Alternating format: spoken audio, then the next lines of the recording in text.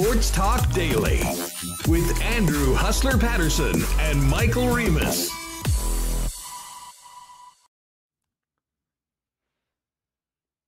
Go.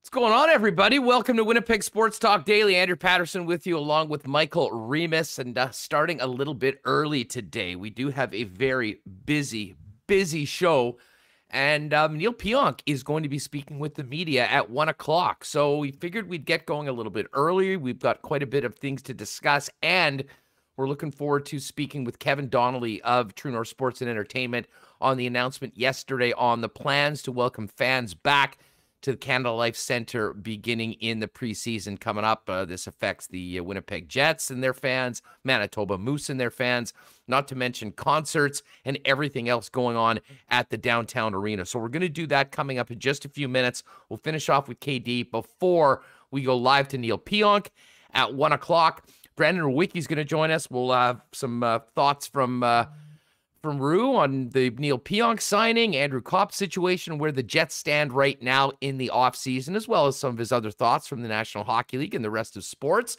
Longtime NHLer and Manitoba native Matt Calvert has officially announced his retirement. He's going to join us. We're going to welcome in Nik Kowalski for Nick's picks and talk a little CFL before kickoff tonight between the Stamps and the British Columbia Lions and uh, Hockey Manitoba getting back on the ice as well. We'll check in with our pal Bernie Reichardt over at Hockey Manitoba for what should be a very, very busy show. As always, we're brought to you by our newest sponsor, Canadian Club. Well, maybe cheers a few CCs at the game tomorrow night at IG Field. Cannot wait to see the Bombers again taking on the Hamilton Tiger Cats. at Royal Sports, the Nick and Nicky DQ Group, Paramount Services Limited, Not Autocorp, Boston Pizza, Little Brown Jug Brewing, Assiniboia Downs, Aikens Lake Wilderness Lodge, Breezy Bend Country Club, and of course, our betting partner, Coolbet Canada. Remo, welcome to the program. What's going on? Hey, just getting all settled in. You know, we're on early today. So if you didn't know or you didn't see on Twitter, make sure you hit the uh, notification bell next to the subscribe button on the channel. And but yeah, lots to get to. Who would have thought August we'd have like one of our busiest shows ever? Uh, August, August 12. Um, you know, we have the Jets arbitration hearings. We had Pionk scheduled for tomorrow, but they avoided that, so we'll be hearing from him. Kevin Donnelly on the announcement by uh, True North yesterday about the vaccination policies for all of their venues. And uh, you know, we got a lot of lot of stuff going on. CFL, um, some retirement. So I'm excited for today's show. Uh, we're excited to be here early. This is awesome. Um, yes. So everyone talking about the announcement yesterday, um, and it sort of came out right at the end of our program, or actually it was after our program because it dropped actually as I was on with the guys in Calgary. And Remo, I got to tell you, it was quite hilarious to be a Winnipeg guy on in Calgary, Alberta, which um, I think most people would agree Alberta is somewhat the Texas of Canada. Uh, they have no rules right now. And, um, you know, I didn't, I wasn't looking at the text line for the conversation, and I'm glad that wasn't. But uh, Will Nault, who I was on with, and Logan Gordon speaking with, uh, you know, off air, um, you know, you realize what a polarizing subject this is in a lot of places in Canada um, no matter where an announcement like this is made, there will be people that push back on it. Um, it's not a hundred percent support of uh, anything really today in society, um, even in the situation that we're in. But to be honest, from my perspective, this was I mean, the least surprising thing we've heard. I mean, if you have to be double vax to go to a Bomber game or a Goldeye game, an indoor stadium holding 15,000 people, I didn't think that there was going to be any other way. Um, as I mentioned, we'll have Kevin Donnelly coming up in just a second, but uh, I'm sure from your perspective, this was not a surprise. Um, I mean, I saw the email. I, I guess I guess yes and no. I mean, when it came out, I was like, oh, oh, really? This is big news. And I think you saw the support. I mean, this was national news.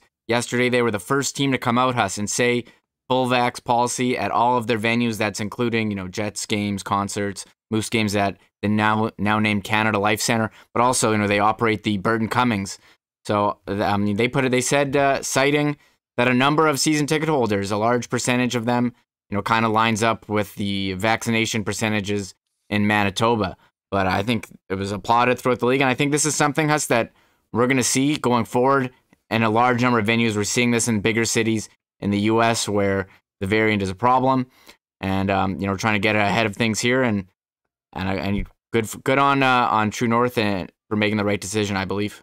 Yeah, I, I, mean, listen. I mean, I think that you know, and we'll we'll get into this. We'll ask Kevin Donnelly all of this, but I mean, certainly from all the reports, I mean, they did. I mean, I'm a season ticket holder. Um, I got the, the questionnaire, which asked me uh, my thoughts on the upcoming season, what I would feel comfortable going to. Uh, you know, would I be back? All of those things. Um, and you know, thoughts on you know, do fans need to be vaccinated? So, um, you know, I know in some circles this is controversial. Uh, it's not really to me. I mean, I'm like, like, did I want to go get a needle? Well, no, obviously. I mean, that's not something you wake up, go, yeah, I can't wait to go to the doctor and get a shot. Um, but with the situation that we're in, um, my motivation, everyone's is different. I mean, obviously, you want to protect those around you, uh, but also to do exactly this get back into the arena downtown and watch the Winnipeg Jets and do what we did last Thursday, getting together with 30,000 people at IG Field to watch the Bombers and get back to the ballpark and be able to go to Assiniboia Downs. So um, everyone's got their own reasoning for whatever they're doing right now, uh, but in the interest of public safety and, of course, in the interest of business. Um, you know, the, the Winnipeg Jets have taken, like everybody else in this industry, have taken a massive financial hit over the last couple seasons. And they absolutely need us back in the building. And they need as many of them as possible. And while there will be a small segment of the population that will oppose this, um, I think overall, certainly as we're seeing the general reaction from this and what Jet season ticket holders said to True North when they were asked, um, I think there's far a far greater amount of people that are in and will be in and will attend games with the rules that they put out this year. And uh, listen, I like everyone hope that we can get to a point where there are no recommendations that we're not dealing with this, but it's pretty clear that we're not there yet. Uh, no one is there yet, and you know I, I think we're lucky in the fact that we have had the buy-in um, for the shots that we've had here in Manitoba over the last few months that have put us in a relatively envious position as opposed to many other places in North America. Um, but as far as we're concerned here, bottom line is we want to get the information out to everyone and know that there will be hockey being played. If you've got your tickets, you can go, and what you need to do to make sure you're a part of that crowd to see this new look Winnipeg Jets team when they drop the puck in a month or two. Yeah, well, well said, Huss. And I think Manitoba's put themselves in a really nice position here with the you know digital QR codes combined with the physical card. Um, it's amazing that they were able to produce, you know, such a futuristic thing when we're still using the paper for the health number, which has been a running joke. And I know um, Quebec seems to be going that route as well. I think Ontario just has like a paper, uh, like a paper receipt that you get. So I'm, I'm personally one shocked Manitoba is so ahead of the curve on this. And I, I saw, you know, hockey media, um, you know, top doctors applauding the Jets for and True North for their decision uh, yesterday. So um, it was again we we did record this earlier, but it was great catching up with Kevin and hearing all, all the details from him and what went into it. Yeah, well, listen, I wasn't at all surprised to see hockey media and people in, on Twitter being supportive of this. I mean, the unfortunate thing is in in reality right now is there's such a disconnect from what you see on a platform like that and talking to real people every day. I mean, listen, if you watch Twitter, I mean, you would think that a the world is ending every single day and that it's 100% in support of the most extreme, extreme, you know, um, conditions when it comes to protecting people from the virus. And, you know, unfortunately, I think that, you know, there's very, very much differing viewpoints. And the thing that I hate the most about it all is that it's got all so political. I mean, I think Eric in chat makes a great point. He says, I'm with us I wasn't excited to get the needle, but for myself, I thought it's the best thing for me to do to be able to go out and somewhat do normal things again. And and and that's the way it is. Um, and Sean Gagne makes a great point. Season ticket holders need to have their first shot by Sunday in order to have been double vaxxed in time for game one, because there is, of course, a time period that you have to wait and get it on. So, God knows we spent enough time talking about all of this, but it is important today um, because for hockey fans, and that's what we talk about, you know, our teams and going to games, um, this is very important. So, had a chance just before we came on today to catch up with Kevin Donnelly, Vice President uh, at True North Sports and Entertainment. Um, Kevin is a, a, brilliant mind in the entertainment industry. I've known him for a very long time, and I've actually wanted to get him on the program for a longer conversation at some point. Uh, just to get his perspective on where the sports and entertainment industry goes from here, um, how different it looks afterwards, what might change forever. But obviously, we started off talking about the announcement yesterday and what this means for Winnipeg Jet fans, Manitoba Moose fans, uh, concert attendees, as well as everything else that goes on in the downtown arena, and as well as Michael Remis mentioned, uh, the Burton Cummings Theater. So here it is, just from about half an hour ago, we caught up with Kevin Donnelly of True North Sports and Entertainment on the announcement yesterday on the rules and requirements to get into the arena this year. KD, thanks so much for doing this. It's great to have you on Winnipeg Sports Talk. Uh, thank you for having me. It's a thrill to be here, Hustler. Well, it's I mean, I'm sure it's thrilling for everyone to be talking about actually having fans back in the building. Um, you know, before we talk about what was announced yesterday, if you can tell us about how these decisions were come to the amount of collaboration you had within the organization, uh, within other stakeholders, and of course your fans as well. Well, obviously, sports entertainment and hospitality has been just wildly impacted by, by by COVID, and so, you know, as a company, we we have taken just such a deep look into all the science, all the news, all all the stats we can follow right from the get go. I mean, you know, no nobody knew the extent to which this is going to play out and the timeline in which we. So we've been following this with the notion that it's going to turn in a week, it's going to turn in a month, it's going to turn in three months, and we we've needed to be ready for the what we thought was going to be the, the the start of the return. So, you know, watching the metrics, watching the math, watching the science of of, of you know that that we can glean from our health office, our you know diff, different different sources, um, just so that we can be informed, and then we take that and and we create our own opinion for a company. What's best for for True North? What's best for Manitobans? What's best for the Winnipeg Jets and our fan base? And and you just put that in the blender and you try to come up with a policy, a plan, a, a, an organizational statement, uh, and just you know keep keep the doors open, the lights on, and and and the wheels turning. So, it has been an endeavor. It has been across the whole organization. You know, HR, security, marketing, planning, finance has been insanely expensive to keep the team together without an audience. And uh, but we're here we see the light at the end of the tunnel, so to speak. We're going to have exhibition games starting in a little over a month right now, and uh, and so we're you know we're gearing up. Um, well, let's talk about the announcement yesterday. I mean, I don't think it was any surprise to, to anyone around here, considering the way things have gone when it comes to the virus, as well as what we've seen happening with the outdoor venues like the Winnipeg Blue Bombers and the Gold mm-hmm. Eyes, and now with Assiniboia Downs. Um, that people would have to be vaccinated. But maybe if you could just summarize for people that maybe haven't read the release. How will things work? Winnipeg Jet fans, you want to go to a game this year. What do you need to know and what do you need to do? Uh, games, concerts, Moose games, uh, er- everything in within our realm, uh, which is the Canada Life Center, the Burton Cummings Theater, uh, and any other event we're attached to. Um, you have to be fully vaccinated to attend. Our staff are going to be fully vaccinated to be employed by True North, and our suppliers. We're asking our suppliers that when they send workers to to do whatever services that they're contracted to do, they send vaccinated contracted employees. So we're trying to be consistent. We're trying to be just a blanket statement. We want our coworkers, our colleagues, to be safe, to be to be protected, and we want to be able to provide that to our audiences, our fans that, that come through the door. So, fully vaccinated to to attend, fully vaccinated to work, um, and and you know masking is something that we're watching. Uh, right now that we're saying you have to wear a mask indoors uh, except for while eating or, or consuming you know a beverage or something. So different from mm-hmm. outside outside has different considerations than indoors indoor space you know tight confines um, it, it, has a different different set of um, standards than, than outdoors. So we we applaud what the bombers were able to achieve. We, we we're with them and and think that they're on the right path. Indoors is a different animal, and so we're we're going down our road the way we are. Well, I, okay, I, I wanted to ask you about the masking because I, the one thing I did hear from a few people is, um, you know, everyone expected that you know this was going to be a, a, a vaccinated building, mm-hmm. considering mm-hmm. what we've seen in our other venues.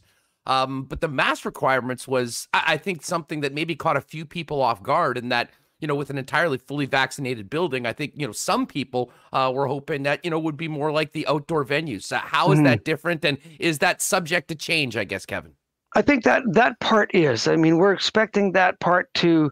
I, I, think the masking thing, masking protects you, as we all know, and we've heard it a thousand times. You can still catch COVID even if you're vaccinated, but masking helps reduce that spread. So uh, that our policy will follow the, the infection rate in the market. As that really drops, and it is dropping uh, to a point where we don't have to be as as as strict on that, uh, we're willing to amend that. Our belief, and again, the provincial health order only uh, issued a blanket statement for uh, events up to 1500 everything over 1500 indoors has to be submitted to the government for approval so if we were to submit that approval today we would expect that mask would be a requirement in six weeks when we start the season, mm-hmm. it's likely going to be different. If Manitobans continue to do the right thing and if the spread doesn't take off like we're seeing in places like Florida and whatnot. So I think the masking requirement is a more fluid statement. It's currently required. Um, it might likely get to recommended and, and give a, a patron option, but the vaccination status won't change. We are going to be a double vaccinated, fully vaccinated facility for the foreseeable future. Kevin Donnelly of True North Sports and Entertainment with us discussing the upcoming season at the Canada Life Center and what this means for fans that want to go and attend events in downtown Winnipeg. Kevin, you mentioned all the collaboration within the organization and with health officials, which goes without saying. Um, I know you did. I mean, as a season ticket holder, I mean, all of us got the uh, got the questionnaire. Tell us about the interactions and what you heard from fans and how impactful that was in helping you get to this point again, you know, we, we spend just un, uncountable hours trying to trying to understand the science and understand what this what this means to us as a business and, and, and us as an operator within the community. But going out and asking the fans, we thought was a critical point to add to to the, you know, the the matrix when you're making these decisions. And the overwhelming response, I think it was upwards of 84% of our fans liked the notion of being a fully vaccinated house. So we landed there before we asked the question of the of our of our fans and patrons but hearing that response confirmed that we were on the right path confirmed that we think that we're doing the appropriate thing in providing as safe and as healthy an environment as we possibly can uh, to the people that enter the building. So it was great validation for the path we were on but we were we were heading down that road anyway. But again 84% of jets fans surveyed said they wanted a vaccinated venue. Um, Kevin, you sort of alluded to this off the top, but um, are there any differences between a Winnipeg Jets game, a Moose game, a metal concert, a family event? I mean, you've got a it's a very busy building under normal times.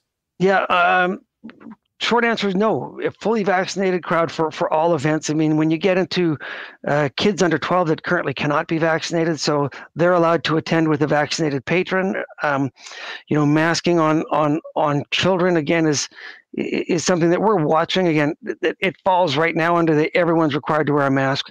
But as we get a little closer, you know, at Disney on Ice or a Moose game where where there's larger percentages of kids in the building. Um, I would suggest people check back with us before then in case that mask requirement changes, just so that they're fully aware. But at the moment, everybody of every age group, we're saying required to wear a mask indoors, except for when consuming food or beverage. Uh, it, has been an unprecedented time in the world, um, and some industries have been affected more than others. The entertainment and sports industry is right at the top of the list. Can you tell well, what have the last 18 plus months been like for you and and what's been happening at the at the rink oh. when uh you know it hasn't been filled for whatever 200 nights a year? Well, again, in a word, it's been terrible. It, it, it has been, you know, I've been in this business for over 30 years. I've never gone 18 months without being at a show, presenting a show, booking a show, selling a show. So this is, you know, new for me and it, and it hasn't been fun. Uh, True North and, you know, our ownership have been unbelievable, but we haven't laid off anybody. So we took the 200 staff and redeployed them to do whatever we could afford to do. The money dried up, so bigger projects were shelved for a year, but we had an, an army of people that we were able to clean seats, paint walls, you know, polish railing, do everything we can do to get the building in as most pristine condition as we possibly could. Bigger projects that you know people have seen complete uh, concourse renovations, those have been shelved. Those have been pushed back. But when you return, you'll see the building looking as great as it as it ever had. Both buildings. The Burt looks incredible. Uh, the arena is ready to go. We have made some significant changes. We've added um, on ice projection for the game presentation. So we haven't stopped spending money, but the major projects we have deferred for a year. Um, but you know, man, we're looking forward to it. We just want to get back. We have we have horses in the stables ready to get out and do what they do. So it's coming. You mentioned about booking all, um, you know, all the events, and for people that don't know, I mean, you've been in the concert business, as you mentioned, for 30 years, and been with True North for a number of years, putting on everything that goes into uh, Bell MTS or the former Bell MTS Place, now Canada yep. Life Center or Canada Life Place. What, um, how busy is this building going to be going forward? And um, maybe give us a bit of an idea. I mean, everyone knows what the hockey schedule is. Outside of hockey events, will there be other events? Do you have concerts coming? Are there other things as, as well as at the Burt? Well, I, I think that the concert industry is having its struggles starting up again. You know, there's been some festivals that have picked a certain date and have come out of the gates. Lollapalooza was a big example, but that occurs in one market on one date, and and it was easy for those people, or easier for those people to to keep that band together, to keep that team together. Tours, you know, as this Delta variant is is impacting America, they're having real trouble planning where where can they safely go? Where can they take tours from, from market to market? And and the issue of international travel is still unresolved. So it is starting. It is going to come back. There's a lot of talent that is pent up. There's there's pent up uh, uh, inventory that, that's ready to go out, but it's starting up slower than what I'd like to see. We're going to have Eric Church on on October the second. That's going to be our first major event at capacity. I mean, country superstar. You know, we'll have 10, 12,000 people in the building. But I think you won't see the kind of activity that we had in the arena until, you know, first, second quarter of 2022. Um, Kevin, for people going to the games, and I'll preface this with saying I was one of the 30,000 that was at the uh, the stadium, the IG Field last weekend for the Bomber game. And uh, and having worked on the other side of things, knowing the planning that must have gone into that, um, you know, after being off, the staffing issues, all that. I mean, there were some incredible challenges. Mm-hmm. One of the things that they did do, though, was move to a cashless concession system. And it was very obvious that whether it was because it was new or there wasn't enough people or the demand was high, that it was, um, I mean, the amount of time that it took to get something I mean, to be perfectly honest, Bombers probably left a hundred grand plus on the table just because they weren't able to sell everything. How is that going to work uh, at the arena downtown? And uh, do you have any concerns? Uh, we'll put it this way: if that is, why? And are is there any concerns that that's going to impact the, the ability of people to get what they want and not miss too much of the event? Yeah, we're taking a slightly different approach than what the Bombers did. We're going to have cashless options everywhere.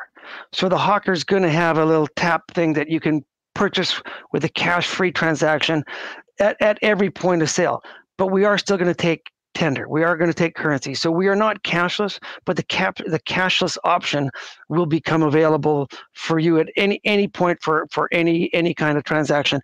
And I got to put a caveat there. I think 50-50 because that that's more complicated by the the, the, the lottery system and and the the um, you know the the the uh, just just the, the the draw selection. I don't know that they're going to be cashless or cash options. So um, we will for concession, for beer, for popcorn, for all the food items, for merchandise. You will have a cashless payment option, but not only cashless. We will okay. take currency. Yeah. That's good. That's good news. I think that'll make things uh, as smoother and, you know, obviously for the bottom line too. I mean, you want to be able to sell your product in as many ways as possible, as easily yeah, and, and think, as quickly as possible. And I think, in fairness to the Bombers, again, they've been out of the game as long as we have. It's going to take us a while to get back to the you know the smooth running systems that we had in place. So I think they did it. They did a good job eh, as best as they could to their ability.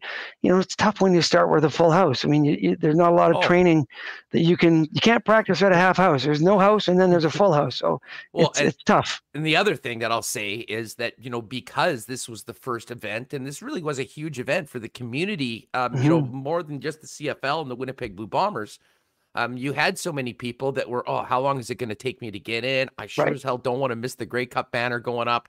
Yep. So I mean, like the place was almost full at 20 after six. And yeah, isn't that it's incredible? normally a Yeah. later arriving crowd, and you know Yeah. the preparations for that. But even the Bombers said as much right after the game that they knew that there's some improvements that they need to make, and looking forward to seeing how that goes tomorrow. Uh, but the bottom line is, I think for everyone, just happy to have the opportunity to get back, see people we haven't seen for a long time, cheer on our local teams, and uh, and have a good time. Uh, Before we go, KD, um, you as I mentioned, I mean, I've always wanted to ask you this question, and it's sort of I'm sure changed throughout the course of the pandemic, but there's no better you know experience in this industry than you. Um, at what point?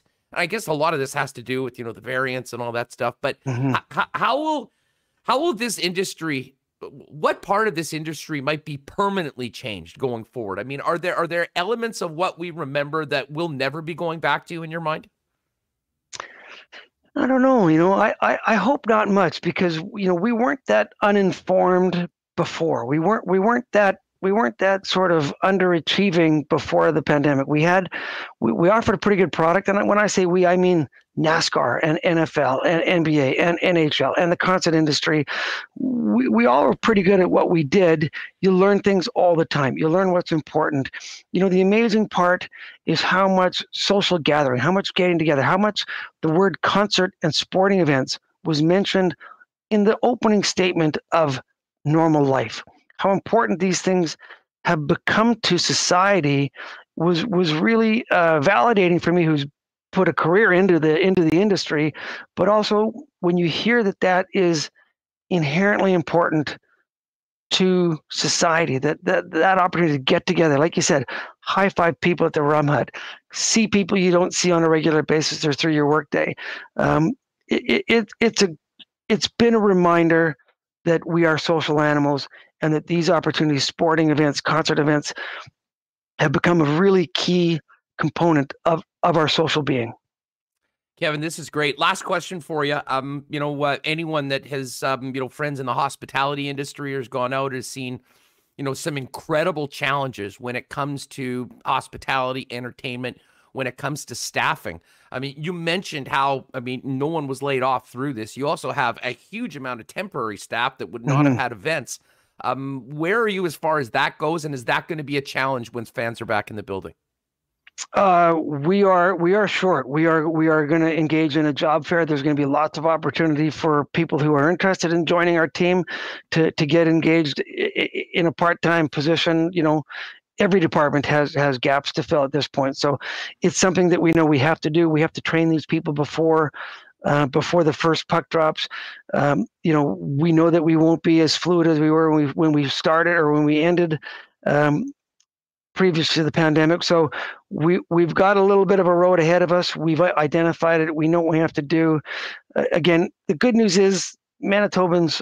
Um, we, we've got a good story here in this building with our hockey team, and people feel immense amount of pride when they get engaged with it, and our staff are quite loyal. So we've got a a healthy number coming back, but we know we have we have holes to fill, and we're in the process of doing that. So if you are interested, there's a job fair coming, and uh, we look forward to meeting and making new friends. So there's opportunities, but it, just is what it is. We're going to have to hire them, train them, and, and get them ready to go. Well, of course, all that information will be up on the Jets website. I'm sure True North website, and um, Yep. let us know. We'll make sure we let people know at uh, here at Winnipeg Sports Talk. KD, I cannot wait to see you in uh, in person and uh, high five you after a Jets goal running through the concourse at some point on the 300 level this year. All the best to you and the staff, and we'll uh, look forward to seeing you back at the rink. Thank you very much. Good, to see you. All right, there was Kevin Donnelly. Caught up with him just before we went live today here on Winnipeg Sports Talk. Really appreciate Kevin taking the time to join us and sort of explain, you know, how they came to this decision and bottom line, what does it means for fans? Uh, because I know the vast majority of us cannot wait to get back into the uh, into the arena and see this hockey team. And uh, that hockey team is going to have Neal Pionk, who signed a four-year deal yesterday with the Winnipeg Jets. Pionk's going to be meeting the media in just a few moments. We uh, are hoping to have him on uh, the program at some point next week. Uh, but we'll hear his first comments in signing the deal with all of the Winnipeg media coming up. We'll carry that live for you. Part of the reason why we jumped on a little bit earlier today. Uh, for everyone that's jumping in, going, "What the hell? You guys are already on?" Yeah, we started at 12:30 today. Um, if you haven't already, I'm sure most of you are, but if you haven't already, make sure you hit that red subscribe button. And if you hit the bell, it'll turn on notifications where when we are live, you'll just get a little notification saying, "Hey, Winnipeg Sports Talk is live," and you can get right in there. Um, I have a feeling there's been a couple times during the playoffs where we went on on a long weekend. Um, there's been a couple cases where, because of whether it be press conferences or whatnot, that we wanted to carry, we've gone a little bit early. So if you don't want to miss any of our broadcasts live, make sure you have that bell on. And otherwise, if you're just tuning in right now, uh, welcome to the program. We just had a great interview with Kevin Donnelly from True North on the announcement yesterday of the rules and requirements to attend events at the downtown arena. Uh, you can simply back it up and watch it now or catch it at the end of the program. And of course, if you're listening on the podcast right now, uh, great to have you with us. Make sure to uh, check out the YouTube if you haven't been uh, if you haven't done it before. I think you'll really enjoy it. Uh, but also, if you have the opportunity to uh, give us a five star rating there on Apple Podcasts and a little review, it certainly helps out in a big, big way. All right. Before we get to Neal Pionk, do want to thank some of our sponsors, including Canadian Club. I know there'll be a lot of CC uh, being poured tomorrow night in the uh, incredible social area in the north end of the stadium, the Brugal Ramahat, the Jim Beam Stillhouse, and you'll be able to get CC at any of those spots, as well as uh, maybe even a little Sauza tequila, all part of the Beam Suntory family, which is now on board as our official spirits partner here on Winnipeg Sports Talk. Now, I mentioned, I teased that we have an incredible, incredible prize from CC to give away through a, a fun promo. We'll kind of have details on that next week um, because it was such a good prize. I didn't want to do it on short notice. I wanted to let more people know about it, um, kind of maximize the value of it. But I will tell you tomorrow, we will have an I Love Rye package to give away. Um, so make sure you're with us live on YouTube. End of the program tomorrow. Getting ready for the Bombers and Argos. We'll give away that package through one of our famous Friday marble races. So I'm looking forward to have people back. Thanks so much. And if you're looking for the best, look no further than Canadian Club. Cannot wait for this game tomorrow night. And I guess we will do some cheersing. And if you see me at the game, uh, make sure to ask me. I'll try and bring some more Winnipeg Sports Talk koozies. Um, of course, Royal Sports, you know, uh, people might need to get down to Royal Sports before tomorrow's game for a couple reasons. Number one, they'll be able to go and pick up maybe a new Neal Pionk jersey, and of course, all their Blue Bomber gear for the game tomorrow night. Um, but it's so much more than just the best selection of licensed merchandise anywhere. Um, it's the hockey superstore, soccer, baseball, tennis, a great camping section, and of course, bikes as well. Um, so Royal, Royal Sports 650 Rally EK and 750 Pembina Highway. All right, let's hear from Neal Pionk of the Winnipeg Jets, who's meeting the media right now.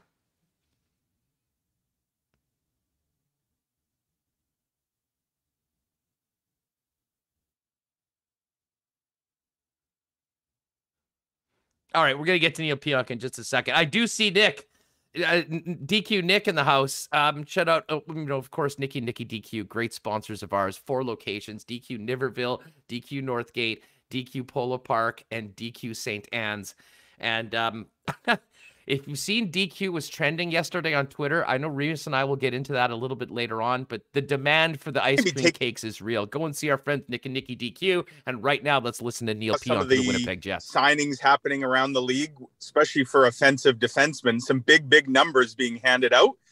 Um, do you feel like maybe you left some money on the table to try and get this just, you know, keep the group together, get this all to fit under the cap? Well, it's it's all part of negotiation, right? Like I think each side probably had to give up a little bit. Um, uh, you can you turn it up? And and, and that's where we came kind of met in the middle and negotiated, so to speak. So um, maybe some people uh, say I left money on the table. Other people I, say I my good friends say I'm overpaid. So broadcast. I can only hear it uh, depends who you ask, but no, I'm I'm just okay, really excited perfect. that that it worked for both sides and and that I'm uh, able to be part of the team for the next four years. Go back to Mike McIntyre. Go ahead, Mike. Yeah, and just on that point, Neal, I mean, with the additions that that were made, uh, Nate, as you mentioned, obviously Brendan Dillon, getting Paul Stastny back, some of the young guys in the system. I mean, where do you see this group heading into the fall and in this window, I guess, uh, of, of your four year deal? Yeah, I'm really excited about it. Um, yeah, obviously there's we have a, a, winning window, and and I see us as contenders too. So like we we make those signings and and uh, bringing back Stas and, and, making those trades. I mean, they're they're huge for our team, and and uh, I'm excited to get going. We'll go next to uh, Kelly Moore from 680 CJOB. Go ahead, Kelly. Thanks very much, Gregor. Uh, congratulations on the deal, Neal. Uh, just further to a little bit to what Mike said with respect to the structure of the contract, it does take you a couple of years into free agency. Uh, is that something that you know you had some chats with the team about looking at things long range uh, for you know what whatever we think you've given up in the first couple of years of the of uh, testing the free agent market? Right. Yeah. So like that's again, it's it's part of negotiation. Like um, we looked at. We looked at a lot of different options, uh, whether it was a, a longer term deal, uh, a one or two year deal. Um, but obviously, we, we kind of met in the middle again, and, and we negotiated. And that's that's part of the business of hockey, and and a four year deal just worked for both sides. So next, uh, back to Kelly Moore. Go ahead, Kelly. Yeah, just to follow up, Neal. Uh, again, when you take a look at the depth uh, of this blue line, have you kind of envisioned, uh, you know, some of the different uh, uh, possibilities uh, going into this season and, and the next couple of years after that too? Yeah, there's a lot of possibilities. Um, from a team perspective, I think I think uh, we have we have a great chance to win. Like we bolstered our blue line, and obviously we know the forward group that we have, and and we have Helly and net. So um, I think it I think it increased our chances to win by a lot.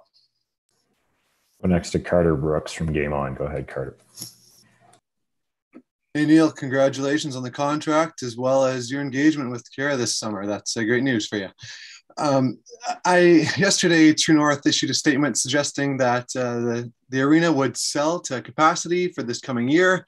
How exciting is that for you? A and B. How important is it to you to see True North and the Jets putting that statement out? One of the first teams in all professional sports to do something like that. Yeah, I thought it was pretty cool. Um, you know, even I remember playing that the playoff game against uh, Montreal when they let uh, I think it was 500 healthcare workers in, and even with 500 people, like I, I kind of got chills going on the ice because it's like you know it was the first time and however many months we actually had some fans in our home building had some noise. So um, and I, I, know it's one of the the loudest buildings in the league with a, a full capacity crowd. So I can't wait. Back to Mike McIntyre from the Free Press. Go ahead, Mike. Neal, uh, obviously in the hockey business and the sports business, there's always going to be turnover. So you bring some new guys in, but you have to say goodbye to a couple faces. And one that you obviously spent a lot of time with last year in, in Derek Forbort. Um, do you have much conversation with Derek and Tucker uh, and and other guys forwards, you know, like Matthew and that, that that moved on, and just some thoughts on on you know saying goodbye to those guys? Yeah, it's it's tough. Like that's the the business side of the the game that's that uh, really sucks. Like you you become good friends with some of those guys, um, and obviously we stay in contact through the summer. So uh, of course texted all three of them. You know, congrats on their new deals. But yeah, we're definitely gonna miss them uh, around the locker room. Go next to Kelly Moore from 680 CJOB. Go ahead, Kelly. And you mentioned uh, that Nate Schmidt is one of your good friends. I'm just wondering, do you get a word in edgewise uh, in any of the conversations? Because he was absolutely fantastic uh, when we talked to him uh, earlier this year when he came over from the trade. Yeah, so I know Schmidt a little bit. Um, we played, I think we played in the Beauty that uh, Beauty League down in, in, Minneapolis a few years ago. We played together and, and, against each other. Had a couple short conversations, but yeah, he's he's he's a uh, he's a ball of energy. So he's he'll be uh, bring a lot of life to the locker room, I'm sure. How do you have a sh- uh, uh, sorry? How do you have a short conversation with Nate Schmidt? Well, when I say short, I mean he talked and I listened. so, uh, yeah, no, you can never have uh, can never have enough Minnesota guys on the team. That's for sure. Back to Mike McIntyre. Go ahead, Mike. Yeah, just one last one from me, Neal. But obviously, you spent most of the year paired with Derek. That was a very consistent pair. So you're going to get a new partner. Um, any idea, I guess, who you might be playing with? There's there are a lot of different possibilities, but and any any preference that you'd have. No, there's a lot of possibilities, right? And uh, no preference for me personally, but um, I think the biggest thing for me going into camp is if I do play with somebody new that came in a trade or, or maybe it's a recent signing, um, to get to know them as well as I can. And, and, it might be something as little as having a conversation uh, off the ice, but not only that, uh, getting to know their tendencies on the ice, uh, watching the littlest things that they do. Uh, maybe have a conversation about how you'd like to play a certain play, what kind of plays you like to make with the puck. So, the faster you can build that chemistry, um, the better off you're going to be. Back to Carter Brooks. Go ahead, Carter. Hey Neal, in Nate's availability earlier, he suggested that Brendan Dillon was a really tough guy to play against. I'm sure you you've seen him, but what do you know about him as a a person and b a, a player? I've, I've heard good things. Um, obviously, hockey's a pretty small world, so I've, I've heard really good things about him. Uh, as a player, just playing against him, I know that our forwards hated playing against him. So he's one of those guys like you hate playing against him, but you want to have on your team bad. So I, I was really happy to, to see that we picked him up. Thanks very much for doing this, Neal. Appreciate it. Thanks, guys.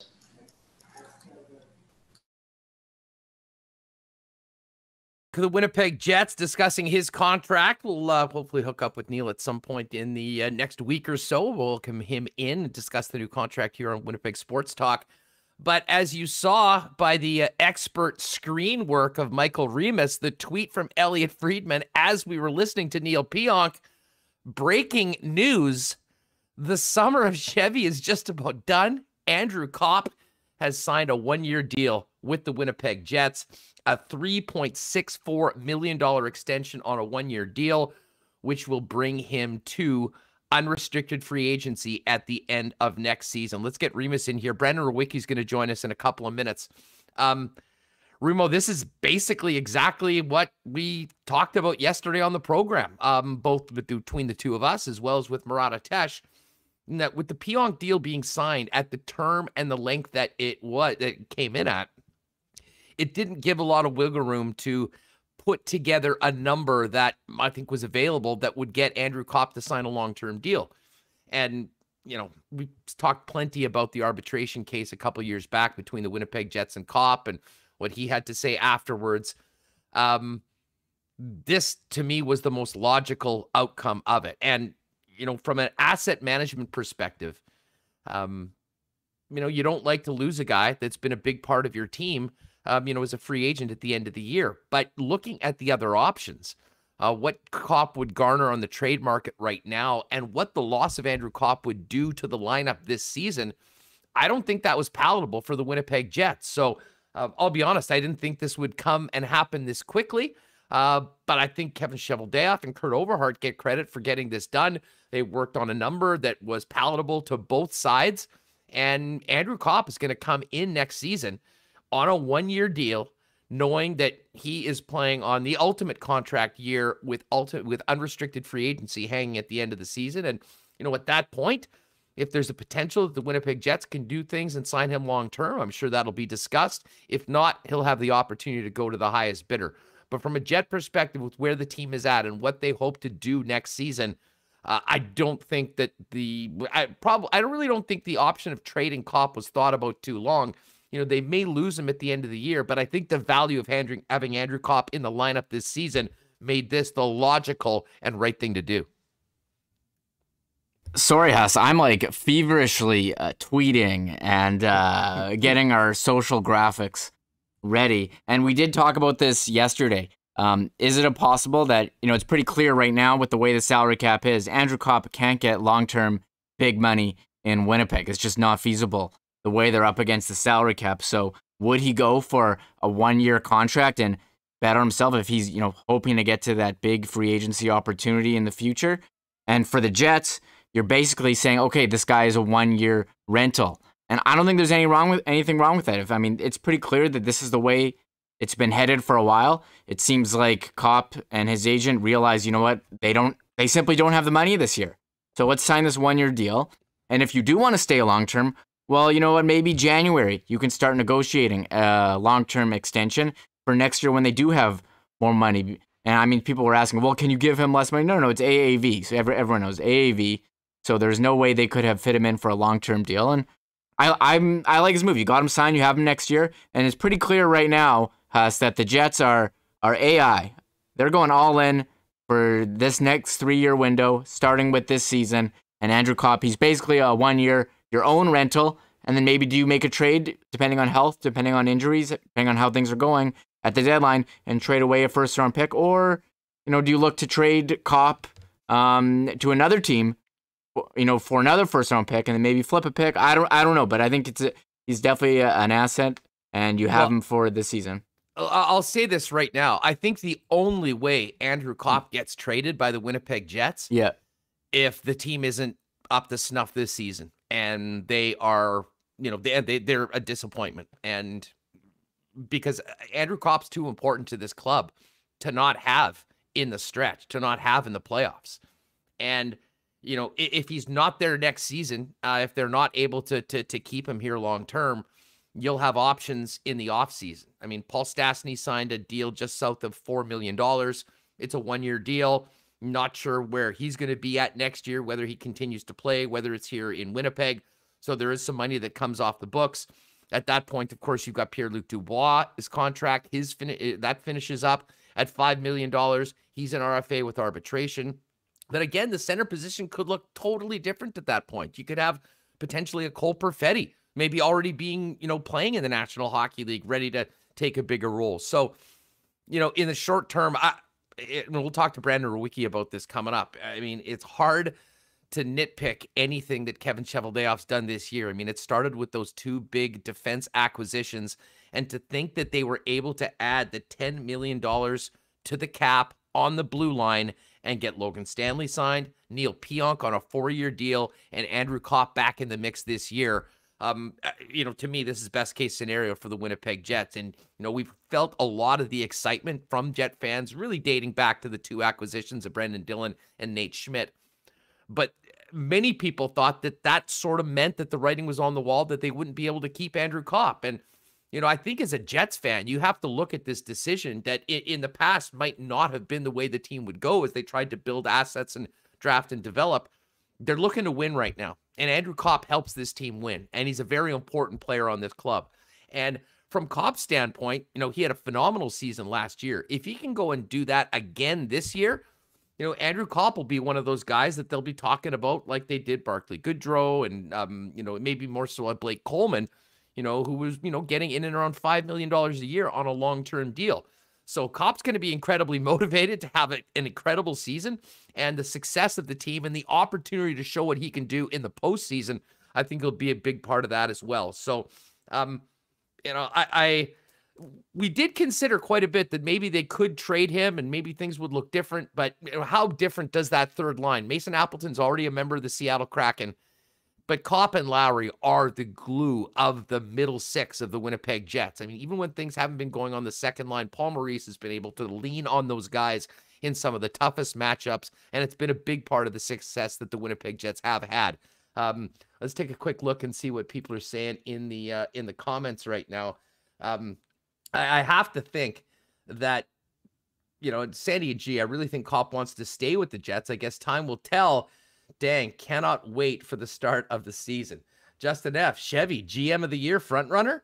Um, well, uh, we already raised the offseason champs banners before all this came done. So certainly the offseason, I, I think it would be you'd be hard pressed to find a guy that did more um, to fix the issues that his hockey team had and do it in you know a flat cap world with keeping all of his players and adding two really impactful guys. So uh, John H, what a summer for Chevy, unreal. Um, so there, there's quite a bit of feedback on this. You can continue to give us your thoughts on the Copp extension and how you see this going on. Um, but this is great news for the Winnipeg Jets. And uh, as I said, you don't like to lose assets for nothing but this is uh, there's the potential that that happens and it's happened before with a player like Ben Chiarot or with Tyler Myers and it'll continue to happen but overall when you look at what the Jets have done with retaining all of you know the talent on you know the young talent you know, between Connor and Scheifele and Ehlers of course Adam Lowry with the 5-year commitment and then you know your top 5 defensemen locked up for the next 3 seasons um, this is the window right now for the Winnipeg Jets. And that's why we talked about it yesterday. I didn't think that we'd see anything beyond a one year deal. Didn't think arbitration was a good idea for the club. And the fact that it happened today, very interesting that we got it in so quickly. We're going to talk about it with Brandon Rewucki in just a second. Um, we mentioned, well, we'll touch on DQ a little later on because I know Remis has some hot takes on the helicopter incident for the DQ cake in Saskatchewan a little earlier. Um, but I do want to thank one of our newest sponsors, Paramount Services Limited, for uh, their support of Winnipeg Sports Talk and let you know about the company which services convenience stores and restaurants in Western Canada 24 hours a day, 365, and they've been doing it for almost 30 years. Um, they will take care of your HVAC, plumbing, electrical, and handyman services uh, for all the machinery, the stores itself. And they're doing it not just here in Manitoba, but across Western Canada. If you need a one stop shop for your kitchen, cooler supplies for your business, or a property in Western Canada, there's one place to call. That's Paramount Services Limited. You can ask for our guy, Carrie O. Uh, or you can find out more online at ParamountServicesLTD.com. And they're always looking for qualified techs involving HVAC, plumbing, electrical, and handiwork. So you can go to your website, submit your resume today. And in case you're wondering, they are members of the Plumbers and Pipe Fitters Local Union 254. Certainly, that's something I think prospective employees would like to know. Paramount Services Ltd.com. Big thanks to Paramount for their support of the program. Gotta give a shout out to Knott Autocorp.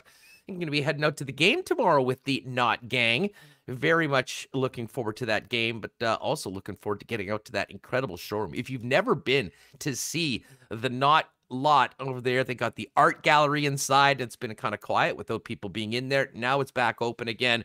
And you've got the incredible vehicles on the lot, the Teslas, and much more, and so much going on inside as well. I'll probably start it off there and maybe take the Knott bus over to the game tomorrow. Looking forward to that. Why not get into the vehicle of your dreams right now? Find out more, Knott Autocorp at Waverley and McGillivray, or you can check them out online at knott.ca. They'll consign your present vehicle, a great service department with Red Seal technicians, detailing services, and so much more. Check them out at Knott at knott.ca. And uh, I have a feeling the BPs are going to be rocking tonight. We got CFL week two getting going with Calgary and the Lions. Of course, a big bomber game tomorrow, a doubleheader on Saturday. What better place to get together with friends than your local Boston Pizza? And you can check out the new summer menu. Bring your appetite. Sunglasses optional. The burger Italiano, the honey dill fried chicken sandwich, and the incredible cocktails, including the white sangria smash, the peachy mojito royale, galaxy fishbowl, and the bulldog margarita fishbowl. Bring your appetite. Summer's here at your local Boston Pizza. Well, this is perfect that we had Brandon Rewucki set up. We were going to talk a number of Jets topics. We had Neal Pionk signing yesterday. And then the last 20 minutes, we hear that the summer of Chevy is just about complete with the signing of Andrew Copp. Let's welcome in our good friend Brandon Rewucki, the host of the Skates and Plates podcast and regular contributor here on WST. What's going on, Brandon? How are you? I'm doing good, man. Yeah, I was all prepared and then, you know, tuned in to you. You dropped the bomb and now I'm all I'm all out of it right here. So I, I, I kind of agree with your thoughts on this, but it's definitely I, I like the commentator that uh, or the commenter that said that the the summer of Chevy. It, it might have finally come to an end, but there's no doubt that this was 2021 offseason was the summer of Chevy. Well, I, will tell you what, great for him to be able to get this done right now and maybe actually spend a little bit of uh, downtime before things get going again very soon. Not sure whether that's realistic. I know there's lots of other things that happen, but there were some pretty big things on Kevin Cheveldayoff's to-do list this offseason, and everyone has been ticked off, and maybe more than you know we could have imagined going in. Let's just start off with the Pionk deal before we got to what that meant for Andrew Copp. Uh, what was your reaction when you heard that the Jets were able to sign him below six million dollars on a four-year term? Yeah, I guess my initial reaction was pretty much what I tweeted out, which was this is bizarrely fair. Like everyone's agreeing that, yeah, you know what, this this seems like a fair deal for both sides. Like I don't think it was a an overpay or you know the the agent took the GM to the cleaners. You know, I, I saw one of those um, analytical uh, Twitter accounts that kind of does the salary projection for each player, and I think they had it at four years, six million, right on the dot. So I mean, by the numbers, it was basically I think what was to be expected there. Uh, I, I, like it. I, I like it a lot. I mean as as great as Neal Pionk is, I don't know if he wanted to go six or seven years either, and then you know the cap hit goes up as well. I think four years is is the sweet spot right there, and and like you mentioned, to get it under six million dollars, even though it's you know just by a hair, I think that's a nice bit of work from Chevy as well. And I guess the only intriguing part for me now that Neal Pionk is signed up semi long term, and it's something that I wonder and, and really would like to see going into this year is, you know, he's not the most highest paid D man on the team by a couple hundred K, but to me, he should be the most played defenseman this year. And we'll see if that's the case. We don't know what the D pairings are going to look like just yet. But to me, the Winnipeg Jets just signed their best defenseman from the past two years and their best defenseman going into the season as well. By the way, shout out to Paula Debt, who almost made me spit out the Diet Pepsi. Said, Brandon, hiding the hair today, lol. Only available on pay per view now. So, um, back to the Jets defense core, though. Um, you know, we've spent so much time talking about the blue line. There was uncertainty about Neal Pionk. Josh Morrissey was essentially the only thing that was, you know, certain for long term.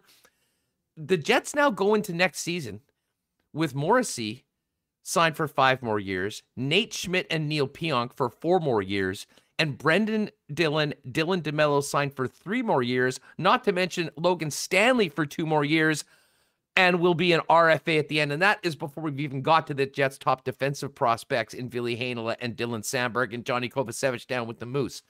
Uh, how did we get here, Brandon? I mean, the, the entire narrative and conversation about the Jet defense core is taking a complete 180 over the last few weeks. Yeah, well, I mean, I think what Kevin Cheveldayoff did looking at his decor, I mean, look, it's not going to be up there with the best, you know, whoever you think the best decor is in the NHL. I mean, Tampa Bay and, you know, Carolina when they had Dougie Hamilton, you can go, you know, up and down the rosters. The Jets don't have a number one stud defenseman. You know, that's just the, the fact of the matter. And I think, you know, as a GM, you have to take maybe a sobering approach to your roster and go, you know what, can we find that guy? Like, is he available without either, you know, plundering our assets and cap space, or do they even want to come here? And I, I just think they realized that player wasn't going to be available to them. So the next best bet at that point is, you know what, let's let's try and load up on a bunch of not not great, but a bunch of really good defensemen, a bunch of second pair D men. And, and you look at the roster right now, it's it's definitely not the best blue line in the NHL, but good is a massive step up from where they were before. And who knows? I mean, maybe maybe having three really good pairs, potentially three second pairs, you know, not a, a no doubt about a top pair, but three second pairs. You know what? Maybe, maybe that's good enough with possibly the best goaltender on the planet and a top 10 forward core in front of you. Like maybe that's good enough to make a deep run into the playoffs. So I, I, I just like, yeah, I really like the the approach that Kevin Cheveldayoff took to all this as well as, you know, as great as it is to have defensive prospects and to maybe have a path for them to get significant playing time at the NHL level, this isn't the year to do it, right? You could make the case they should have done it more last year, and I would agree with that.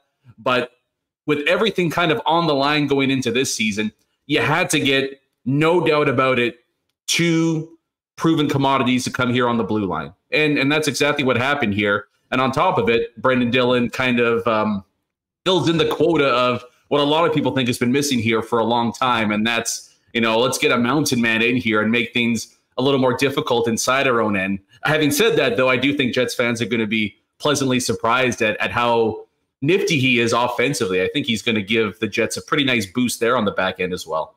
Uh, Brandon Rewucki's with us here on Winnipeg Sports Talk discussing the uh, Winnipeg Jets offseason. Neal Pionk signed yesterday to a four year deal, and today Andrew Copp on a one year deal at 3.64. The Pionk news broke yesterday while we were on the air, or maybe just before we came into the program. I can't remember. It's all a blur, Brandon. Um, but as we talked about it and talked it through, and Murat was on the program yesterday, um, I couldn't help but think that the writing was on the wall that Andrew Copp was going to be on a one year deal. And historically, that is not somewhere where I think the Winnipeg Jets wanted to be or were comfortable being. Um, the cap issue was the cap issue. I mean, they had a limited amount of money to be able to sign Andrew Copp. And you know, I speculated yesterday. I mean, I really think this is going to end up in a one year deal and hopefully gets done before arbitration because I don't think anybody wants to go through that again. Uh, I was stunned that it happened so quickly. Um, but I think I think there probably was an acceptance on both sides of the cap situation of the Winnipeg Jets, the priority to address the blue line, and the fact that they knew Andrew Copp had one more year at a relatively reasonable rate if they did go that route. Um, you don't like to lose players for nothing, and that's certainly a potential that that can happen at the end of the season. But my thinking was just he's too important to this team to trade for a couple picks or assets when if this team wants to win right now, you, you need number nine in the lineup. Yeah, and that's exactly my thinking on this. May, maybe like maybe before free agency started, you could have looked into potentially moving him, and then it's okay. Can we find somebody to replace him for three and a half million dollars? I don't know how likely that was going to be, anyways. And I think it's obviously exacerbated by the fact that Mason Appleton went to Seattle for nothing. And so, you know, maybe if Appleton was still on the roster, you could stomach trading Copp just for draft picks and, and trying to maybe replace him internally. But like I said, with how crucial this upcoming season is, sometimes you just got to bite the bullet as an organization, right? I mean, it's we, we don't even have to speculate. I don't think the Jets are going to lose Andrew Copp for nothing next. He's going to walk into UFA he's going to get more money than the Winnipeg Jets are, are willing or able to pay him. And good for him. He deserves it, right? Like he comes in as a, what was it, a third round pick, and he's going to find himself making, I don't know, 10, 15 million dollars on his next deal. I, I think it's awesome. I'm happy for him, but I think there's a lot of similarity. He's almost like Zach Hyman light for the Jets, right? Like the Leafs went into last season knowing, look, would we like to have Zach Hyman back? For sure. But are we going to afford him? No, but he's too important to our team right now to just ship him out for nothing. And I think that's what the Winnipeg Jets found themselves in here. I can totally get the argument for trading him, but I just think there was there wasn't going to be anybody coming in to replace him. You just weren't going to find that. And there even with Andrew Copp in Winnipeg, there's still some questions to be solved with the bottom six. But at the very least, it makes it a lot easier that okay, now we only need one replacement as opposed to maybe two young guys stepping up. No, exactly. I mean, as far as the th- like, think about the third line if Copp's not here. You trade. Oh, we get the two second picks that you gave up for Brendan Dillon. We can get those back, and Andrew Copp's gone. Well, that's great for the scouts and next year's draft, and in three or four years down the road. But we've talked a lot about this window that the team has sort of set up for themselves right now over the course of the next three to four years with Hellebuyck, the blue line, Scheifele, Connor, Ehlers, Wheeler. I mean, this is the window for that group. And listen, I, I wouldn't say it's 100% that Copp is gone. I mean, I think that there would be a way that he could stay. Of course, Paul Stastny's on a one year deal. His team will co- go come off the books. And to me, the absolute wild card in all of this, Brandon, is Pierre Luc Dubois. I mean, Pierre Luc Dubois' season last year did not go as many people expected. And I think he'll come in with a clean slate and a lot will be expected of him. Um, but he's on a contract that's going to pay him 5 million bucks. He'll have arbitration rights at the end of the deal and this will be the time to sign him to a significant deal or, you know, potentially move on him. That's not a reality right now, but I mean, what happens if Cole Perfetti is available to kind of come in begin playing that? Maybe you have some different options. Um, but the bottom line is, as we've discussed, if this team wants to win this year, Andrew Copp's going to be a part of it. And the benefits of trading a player and getting back a young player or a prospect might be good organizationally, big picture, but you have to make some tough decisions and sometimes make some sacrifices when it comes to the opportunity to win right now. And it's very clear with the decisions and the moves that the Jets have made that, you know, they're not waiting. And if I'm Andrew Copp, in some ways, like would I have loved to get, you know, six years at five million bucks? Well, sure. But man, what an opportunity to play on a really good team. He's coming off a quality a, a, career year where he already had big point totals. Even if he doesn't put up points at the rate that he did last year, if the Winnipeg Jets win, if they go on a long playoff run, if people are able to see more and more about the value that Andrew Copp gives to his team in so many different ways, from five on five play, penalty kill, contributing on the power play, he will be fine in the long run a year from now when he's able to pick where he goes in his next spot. Yeah, well, I, I mean, especially after he saw deals like the the Barclay Goodrow one with the Rangers, he's probably like, "Sweet, next year I'm getting at least four mil over six years. Maybe the Rangers will be dumb enough to give it to me, right? Like he's gonna he's gonna cash it in a big way. I, I think you know from Andrew Copp's perspective, this is a massive win win, right? Like there's really no downside to it whatsoever from his point of view. And hey, eh, no matter what happens this year, there's the chance that the Michigan boy maybe goes back home and hey, why don't you sign it? If Stevie Y comes up to him and He'll have the money. Yeah, we got the money. We got an A, maybe a C if you wanted to. And why don't you spend the next five, six years under my tutelage, right? So I, I think Andrew Copp is really, and, and hey, people don't like to hear it, but Andrew Copp and his agent have kind of played this one pretty well from just his personal point of view. But you're right. Like, there's just no other way to put it. We know how how it's basically all in, right? Like, I mean, I, I don't know what kind of jobs might be on the line, but you know, it's not just make the playoffs anymore for the Winnipeg Jets. It's not just squeak in and be a bubble team. It's kind of we got to clinch home ice and I don't even know if winning a round is enough anymore, right? Like the the stakes have been completely raised here.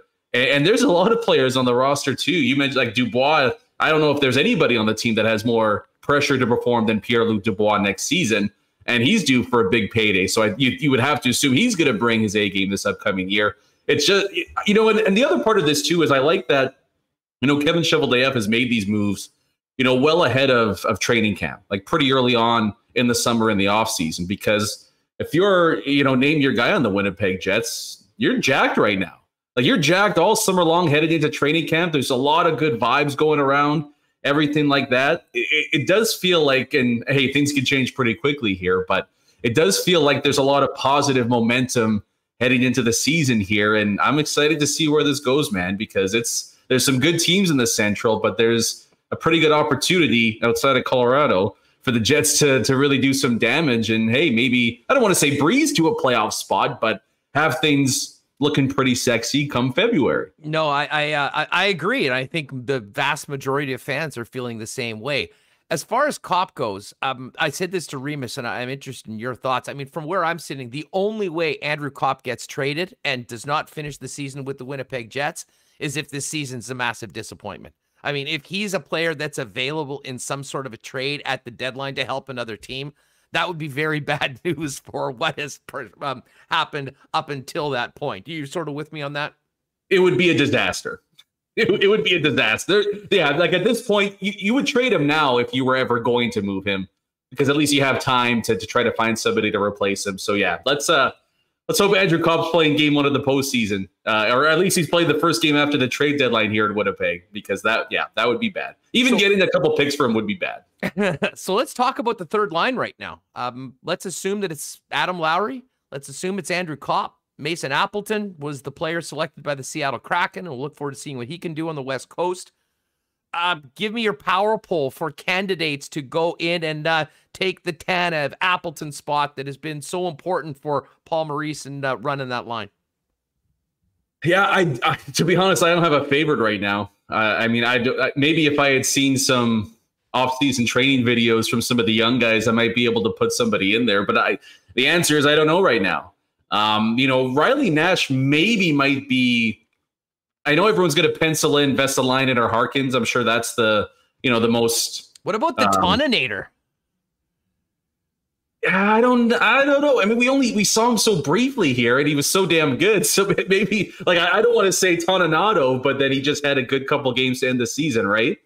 I I don't know if the answer's there right now. I, and I think this is something that's probably going to go on as the season comes on here you know, maybe if I, I, I, I might lean towards Jansen Harkins. Maybe I know the team's been really high on him for a while. I mean, Kristian Vesalainen, you would hope at this point in his career, as you know, a former first round pick, that he would have a top nine spot solidified. But is it going to work with him beside Lowry and Copp? Like, I don't know if that's the best spot for him to be in the lineup. That, that's the only that's the only fly in the ointment here is you have to try and find the right fit beside Lowry and Copp. I honestly, I wouldn't be all that surprised if it was between Riley Nash and Jansen Harkins. And and Paul, we know Paul Maurice loves his vets. Um, may, maybe Nash gets the the edge over Harkins right now, but I guess my answer is I don't have an answer, and I, I honestly don't know if the Jets do either. I'll say this about Jansen Harkins. Um, I'm not sure you'll see a more motivated player coming into training camp to show that he is ready to go right out of the gate because I think by any measure, last year had to be really disappointing for Harkins. I mean, he was a player from the season before that I think we all thought would be a regular in the lineup. I mean, it potentially was going to be, you know, fourth line. And I was a big advocate of Appleton, and Appleton had a great season playing alongside Lopping, uh, Copp and Lowry, but he didn't get into very much action. And then at the end of the season, the reason why I bring up Toninato um, you know, after seeing him and being around it, he was the guy that got tabbed ahead of Harkins to be in the lineup and play at the beginning of the playoffs. And that wasn't a guy that was even on the radar. I joked that halfway through the season, not a single Jet fan would have been able to pick that guy out of a police lineup. and yet there he is scoring a goal in game number one and being a big part of it. But Harkins in particular, I mean, this is a big put up year for him. I think the opportunity will be there with the other guys leaving, that there will be a spot for him, but he's going to have to go and earn it. Yeah, I think there's a spot in you know the top 12 for, for Jansen Harkins where that's going to be. I don't know just yet, and I mean he's got the pedigree to do it, right? Like a second round pick, and I, I don't know how much more he has to prove at the AHL level right now. Like it's just you know how much of an impact player can he be up with the big club right now. And you know, it, it, just wasn't a good year for for any of the youngsters last year, to be honest. Up front, right? Like Vesalainen and Harkins, what did they combine for? Like three points, right? Like there, as far as offense goes, there wasn't a whole lot there. I, it, it just it's it's really hard to get a sense of who's going to get the first crack and and really who deserves it. And that's not even to bring up David Gustafsson potentially. I know he's a center, but you know if you're talking about guys that are defensively sound and, and solid he's ready to go in, in that front. I don't know if the offense is going to be there right away, but at the very least, he's he's definitely a candidate moving forward. But there's a lot of motivation for all those guys, right? Like Paul Maurice is probably calling them. I don't know if he's doing the you know the Kevin Weeks pregame speech, no, but okay. I wanted to bring that up with you. You obviously saw that. And for anyone, we didn't play it on the show. I don't want to DMCA, but I did retweet it yesterday. Maurice, uh, uh, Kevin Weeks' is Maurice impersonation uh, Unreal. I, I, watched it 20 times yesterday, and, and that and that might be low. I mean that that's one of the funniest things I've ever seen. Like, can we can we get that just a regular segment of Kevin Weeks doing imitations of Paul Maurice because it was because it was so good. And what was it's so funny and interesting is that I think I mean Maurice is one of the all time great people speaking in front of the media it's very clear that there's two sides to Paul Maurice, and the one that the, the players see is very different than the very buttoned up individual that um, does what he does in front of the microphone. I mean, that was just absolutely hysterical. I, I mean, it's pretty obvious when you hear players talk about him, right? Like they all, what does Blake Wheeler City go through a wall for him? All like all these guys, the the speeches, like that would be. I mean, I don't know if the Winnipeg Jets are ever going to get like the Maple Leafs have whatever uh, series they have right now. I, uh, I don't. It's called All All or Nothing, which Remis uh, Freudian slip called it All for Nothing. Yes. For... yeah, like I, I don't think they're going to be on HBO anytime soon either, right? Like I, the Jets just you know aren't a big draw that way, but wouldn't it be something to have Paul Maurice mic'd up just for like like a week, get a week of pregame speeches and stuff like that? That like he is one of the all-time. Uh, people here, you know, his detractors will point to, hey, he's the all-time losingest coach in NHL history, but he also might be the all-time biggest beauty as far as coaches in the NHL when it comes to pregame speeches and getting the players ready to go and stuff like that. And that impression is we haven't heard a better one yet. I, right? like, I, I, haven't heard I haven't heard too many Paul Maurice impressions, but that sets the bar like extremely high. Oh, it certainly does. Brandon Rewucki is with us. Uh, welcome to everyone that's joining us on YouTube. If you came at the regular time, a heads up, we started a half hour early today. Um, Kevin Donnelly of True North Sports and Entertainment joined me. We talked about the rules to get into the the, the games uh, the double vaccination, all of that from the True North perspective. So if you missed that earlier, um, you can back it up on YouTube. You can catch it on the podcast a little later on. But if you're a Jet fan planning on going to games, certainly something that you will want to uh, want to check out. And if you're wondering, a, why did you guys go on at 12:30 and why didn't I know about it? Very simple way to avoid that. Make sure you hit the bell uh, beside the subscribe button. You'll get a little notification on your phone when we are going live. Uh, because on busy days like this, with Neal Pionk speaking at one, Kevin Donnelly, we've got Matt Calvert coming up. We wanted to talk to Brandon. We're going to check in with Nik Kowalski and Hockey Manitoba. Uh, we didn't have enough time to do it. So occasionally we will go early. Make sure you got the notifications on so you don't miss any Winnipeg sports talk. So, Brandon, everything has gone about as well as it could possibly have gone in the offseason. Everyone's fired up. So now um, people are looking for things to be worried about. And I look over to the chat, and the new the new topic of Jet fans is what's going to happen with the backup goaltending position. People are not sold on Eric Comrie.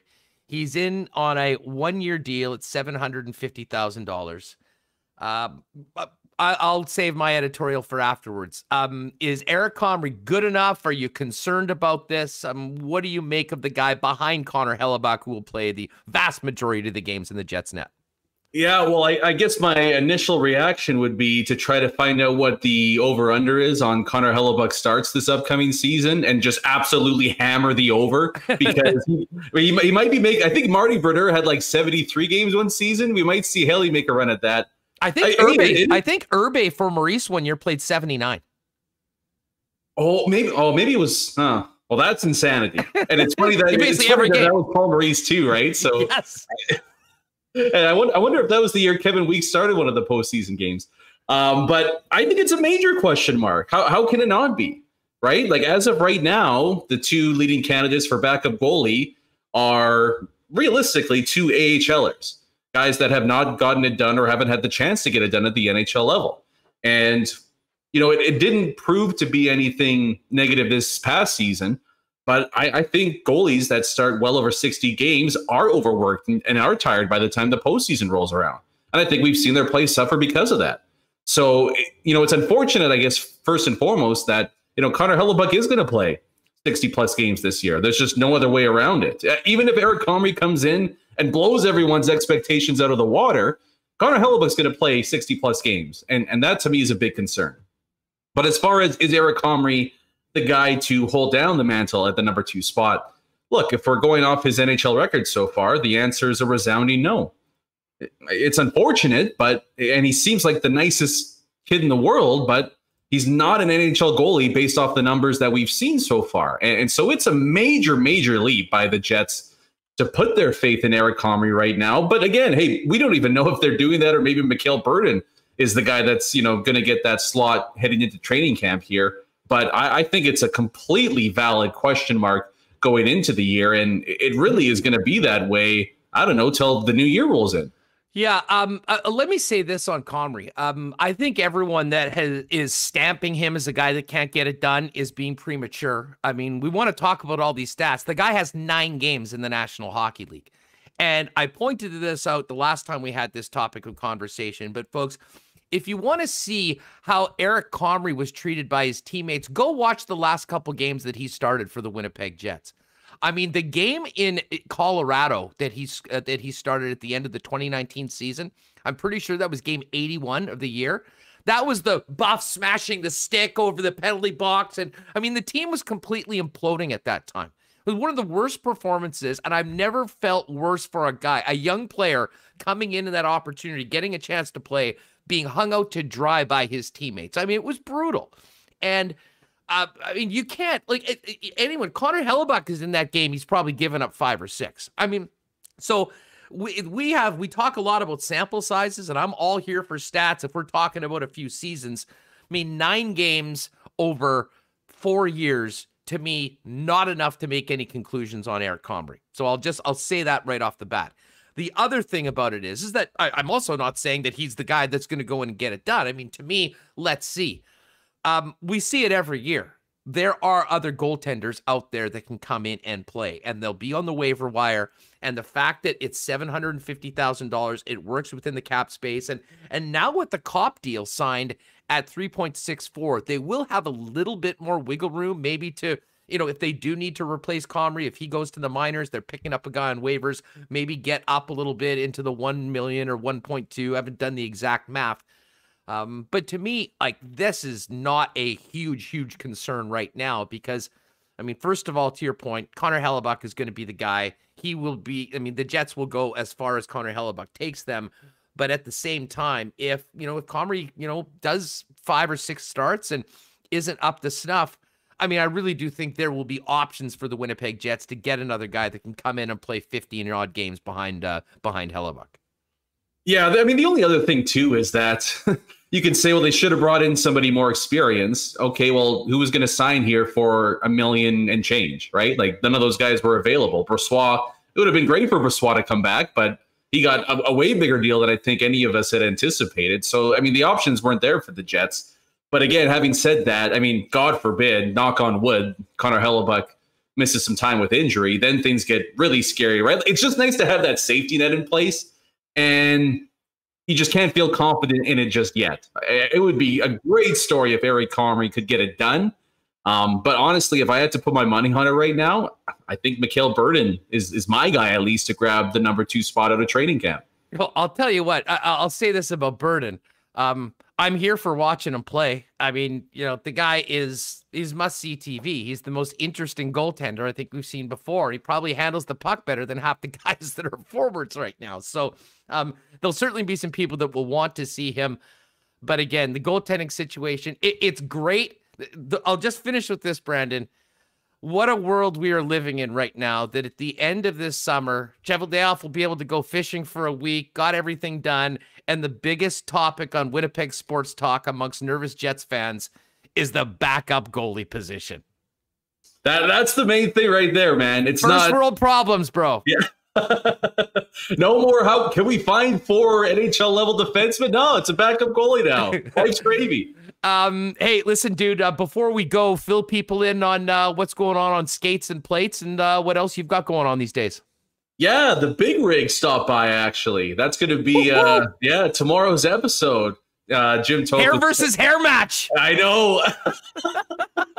we should. Oh man, I should have set that up. No, no more TLC. Just wig versus wig. Um, but yeah, so so you know, just had some fun talking with JT. Uh, that that episode's coming out tomorrow. And yeah, that's pretty much it. I mean, life isn't too great for me. It's it's diet time. I had a salad for lunch. I'm miserable, so I'll probably go drink a coffee right now and just wallow in misery upstairs. Oh, buddy. Uh, well, hey, you know, just know that you got Rasmus Ristolainen there oh. on your blue line for the Flyers next year, and you know, just you can go to sleep knowing that. That hey, listen, pal, thanks for doing this. Um, we'll look forward. Let's catch up on the weekend. We'll talk to you soon. Thanks for doing this as always. Sounds good. See you then, man. right on. There's our old pal from the old station, Brandon Rewucki, joining us on Winnipeg Sports Talk. Been a wild show so far today. If you're just joining us, we started early today. We had Kevin Donnelly from True North Sports and Entertainment join us to break down what um, you're going to need to do to get in to watch the Winnipeg Jets and Moose this season. If you came in late, you can back that up at the start or you can catch the podcast later. Of course, we heard Neal Pionk's media um, address earlier today with the local Winnipeg media. Just had Brandon on. We're going to get to some CFL talk a little bit later on, and we have a very special guest coming up next. Uh, before we do that, want to give a shout out to our friends at Little Brown Jug Brewing um, incredible local brewers that'll bring in you the flagship brand 1919 available at your favorite bars and beer stores and a number of great new summer beers, including the Summer Lager and the Hefeweizen, which are available now in the Good Times Summer Variety Pack. You can order it online at littlebrownjug.ca. If you do it by four o'clock, they'll deliver it to you same day here in Winnipeg. And if you haven't checked out their spot on William Avenue, pop in, have a couple on the patio, grab a slice of pizza, and you can grab all the stock you want right there where it's made. Little Brown Jug on William Avenue. Check them out online as well and order at littlebrownjug.ca. Um, had a so-so day yesterday at the track at Assiniboia Downs. Having so much fun going head to head with Remis in our duel at the Downs. We'll have to wait until Monday for more live racing. In the meantime, though, you can play and bet around the world on the HPIBet.com app. Um, but Assiniboia Downs is open every day. The VLT is open from 9 a.m. to 12:15, and incredible food from the chefs at the Terrace Dining Room available as well. But you do have to make reservations. You can find out more at asdowns.com or pop down and see them from 9 until 12:15 for VLTs and restaurant service. And uh, of course, our friends at Breezy Bend. Uh, we were talking about Garth Collings and his incredible win in the senior championship, the uh, most decorated amateur golfer in Manitoba history. It is the home of the champions, great junior program. Braxton Kuntz with that amazing year. And the course is coming together with some big upgrades. They're just finishing up the sixth hole. If you're thinking about a spot for your family to golf next year, you can get on that waiting list. Talk to Corey Johnson today at Breezy Bend, or you can find out more at breezybend.ca. Speaking of golfing, our next guest now is going to have a little bit more time to do that, finishing up an amazing National Hockey League career. It is a pleasure to welcome in Manitoba's own Matt Calvert to uh, discuss the next chapter of his life. Matt, what's going on? Thanks so much for doing this. It's a pleasure to have you on Winnipeg Sports Talk. You bet. You mentioned golfing. Uh, I had back surgery two months ago, so I'm waiting nine months to do that. So I'm I'm itching to get back on the course. Well, let me ask you right off the bat, how is your health? I mean, you did have some injuries, uh, you know, last season, which kept you out of the Avalanche lineup quite a bit. You announced your retirement after a great career. Uh, first things first, how are you doing? I'm doing all right. I uh, I got a spinal fusion back surgery almost three months ago now, and uh, there's not a whole lot of movement after that. Um, unfortunately, I had to watch the boys play in playoffs and, and couldn't help out. But um, the body's hopefully on the road to recovery and and just trying to get healthy again.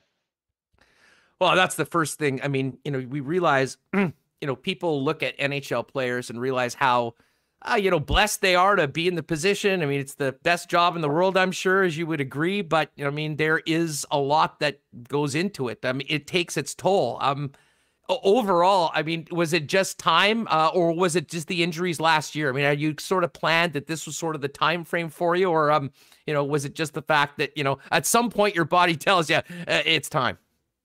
Yeah, it's. I think it's different for every guy. Some guys, you know, don't have the passion anymore. Some guys slow down.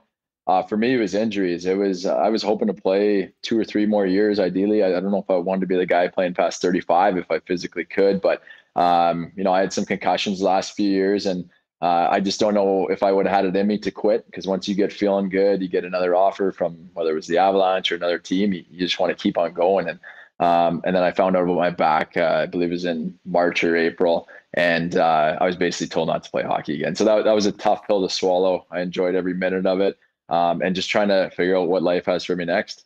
Yeah, well, I mean, you'll have a little bit of time to do that, and I guess unfortunately, without the uh, the golfing going on for the next few months, uh, lots of time to do that. Well, let's back up. Uh, a Brandon native played, you know, just very briefly in the Manitoba Junior Hockey League, and then went into the Brandon Wheat Kings for three amazing seasons. Um, give us a bit of a tell us about Matt Calvert as a Brandon kid growing up, and uh, then of course playing with the Wheaties, which I'm sure was a dream for you growing up in that town, just like uh, it would be to play in the National Hockey League eventually. Yeah, I uh, I was born and raised in Brandon, Manitoba, and then played my minor hockey. Um, I always thought I was a decent player, but I was five feet tall, and when everyone else was about five nine or above, and uh, I ended up playing three years in the Manitoba AAA Midget Hockey League, um, which was kind of rare. Uh, I thought I might have had a chance at the Wheat Kings at 17. I broke my wrist in camp, went back to midget, and we ended up winning it. Um, always growing up hating Winnipeg hockey teams, by the way. I will put that out there right now. and uh, and then I, I, was fortunate enough. I was a walk on. I was actually thinking about going the NCAA road, and then Kelly McCrimmon called me in and gave me an extra year of schooling to come to Brandon. And I just said, why not get a play in your hometown? And I walked on at 18 years old and was fortunate enough to play with Brayden Schenn from day one and Scott Glennie and uh, two amazing junior line mates. And um, got drafted that same year. And tell you the truth, I, I, knew what the NHL draft was, but I just never thought it would be on my radar. And about eight months later, I was, uh, you know, ranked in the final Central Scouting rankings and drafted to Columbus. And uh, three years later, I played my first NHL game. So it, it happened pretty pretty quickly in my late teens the draft is it's changed and grown over the course of the years and i mean obviously the last couple years has been really tough for the young men that are hearing their name not being able to be a part of it but uh, tell us about draft day for you. Uh, did you go to it? Uh, were you doing something else and just got a phone call? How dialed in were you on what was happening when the uh, names were going off the board? Yeah, it was an interesting day for me because, like I said, I played AAA hockey at 17 year before, so I was kind of a no one. But I had a good year in the WHL, and I got invited to the NHL Combine. That was actually my my first ever flight I'd been on, and basically, you know, I'd been out of Brandon a few times, but never never flown, and I had to fly by myself. And and I think the final rankings, I was ranked 23rd in North America, so pretty high. But I show up at the Combine with uh, seven interviews, and usually guys that are ranked that high anyone had from like 15 to 25 interviews with teams. So I, I was an interesting story. And uh, and then draft day, um, you know, they said I could have been a second, third rounder. And I decided to stay at home in Brandon with my family and we were watching and I totally expected not even to get drafted. And uh, finally the fifth round rolled around and I, I actually saw them put my name up beside the Columbus Blue Jackets at 127 overall. And uh, man, what a what a moment because you know the media puts expectations on you get drafted and uh, you know, there's stories written about you before, and as the rounds dwindle down to the seventh round, you're just like, like I just hope I go at this point. And uh, it, it was a nerve wracking day, but uh, I got to party with my family after, and you know, enjoy it like a true Manitoban would. Well, and then of course you go back to the Wheat Kings for a couple more seasons, um, and, and you know continue to grow. How important for preparing you for the National Hockey League was playing those extra seasons in junior hockey with the Wheaties? Yeah, my, my 19 year old year was big. Um, I started gaining some confidence. Went to my first NHL training camp. You just you come back and you see those guys and you see that level you have to get to, and you just you want to get that much better. And um, my 20 year old year was interesting. Since I started junior so late, um, I actually went to Columbus Blue Jackets training camp and, and had a, a real great tournament at Traverse City.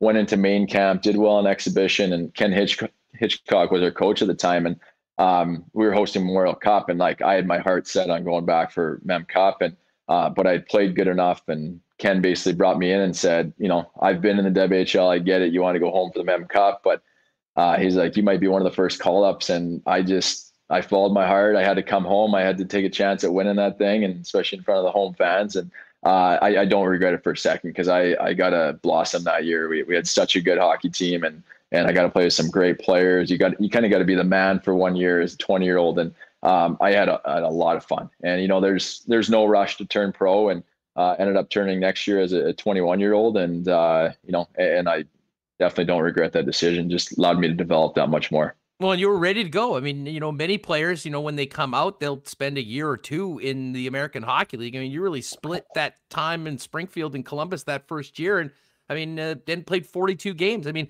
tell us about game number one. What do you remember? Where was it? Was the family there? And uh, you still, uh, you still get a smile thinking about that first time you got to put on that jersey and play. Yeah, it, it was kind of a wild ride. I was in Springfield, Massachusetts, so on fully on the East Coast, and my first game was in Anaheim. So I, I think I had a connecting flight. I flew all day the day before. I got in oh. late that night. Morning skate the next morning, and then you're playing. And I, I think I took a penalty. I, don't know what it was. First period, I think I high stick the old Winnipeg Jets legend Teemu Selanne there, and I was just sit in the box, and I'm just like, do not, do not score. They didn't score in the power play, so that was a great feeling. But I, I think I felt a little more comfortable and felt a little more real in my second game in LA I ended up losing, but I, I, scored my first goal, which was I think I'll be telling my grandkids it went bar down, but it was it was probably one of the worst NHL goals in, goals in in history. And uh, that that's kind of when I really really felt like wow I'm in the NHL and and I just kept building after that. And uh, man, it was a lot of fun because at that point when you're 21 years old, you're playing your childhood heroes still. And uh, with Columbus being in the Western Conference, we were in division with Detroit Red Wings, who were Pavel Datsyuk, Henrik Zetterberg, and and guys I really looked up to in junior and just w- were amazed by. And and now all of a sudden I had to play against them and, and penalty kill against them, which was uh, talk about getting thrown into the fire right there. Um, I have to ask you. I mean, we've talked to Paul Maurice every time a guy comes in and you know gets his first NHL game. Maurice talks about giving him the speech, and you know nobody has the experience of Paul Maurice. He's done many of those. But uh, our old pal Arnie Scott Arniel, of course, was the coach that year with the Blue Jackets. Uh, do you remember? Uh, did you get a speech from Scott Arniel before uh, going out there for game number one?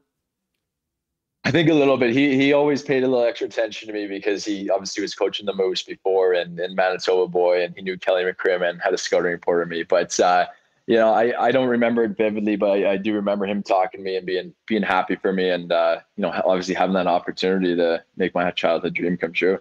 Matt Calvert is with us here on Winnipeg Sports Talk discussing his uh, 566 games in the National Hockey League, another 32 in the playoffs. Um, the the second year, 11 12, was of course a special um, year for hockey here in Manitoba as the, the Jets returned.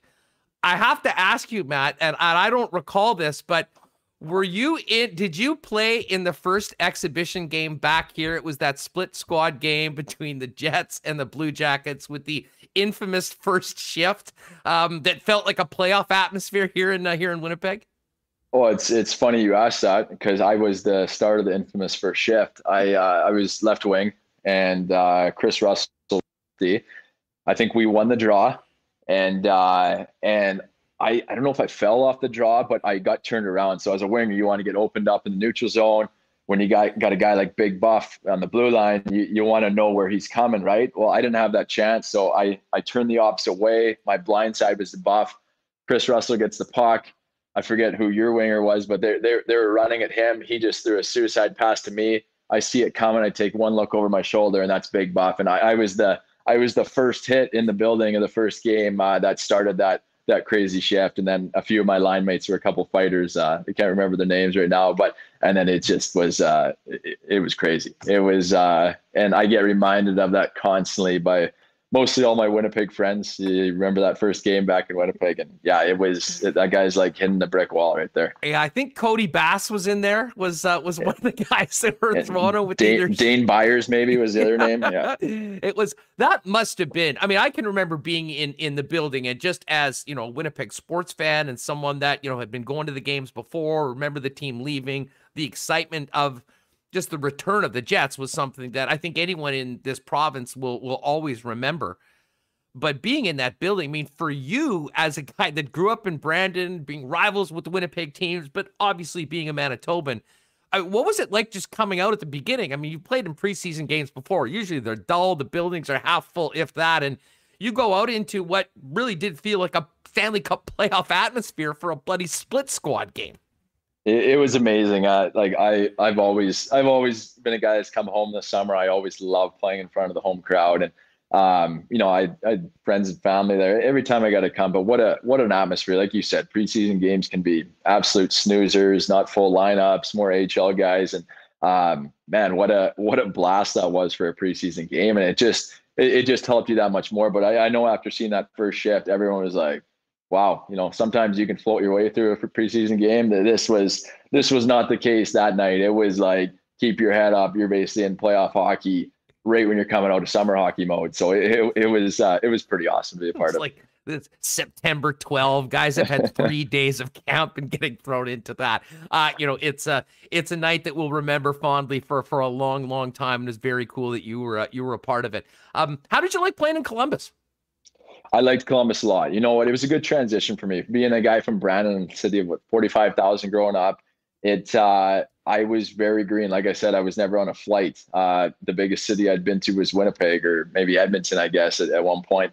And uh, going to Columbus, it- it's a it's a bigger city population wise, surrounding area, but it's got a small feel. And I, I guess before Columbus, I was out in Massachusetts, and that was uh, that was a bit of a wake up call. But I would say an easy transition city for me. But honestly, those those fans are awesome. We had we had so many average years where we were any, anywhere from 20th to 30th ranked in the league, and and they were supportive. They you know they're not like Canadian hockey fans where you know they want to turn on you and they expect wins. They they were more more of like football fans. And when playoffs rolled around, it was it was awesome. They they would finally pack the building, but. Ohio State University football is the big draw there for for a lot of those winter months, and once that's done in January, wh- whatever the month is, that then we started to see fans come to the stands. But uh, great setup. They got their practice rink attached to the rink. Um, living, whether you're young, you have Ohio State University five minutes down the road.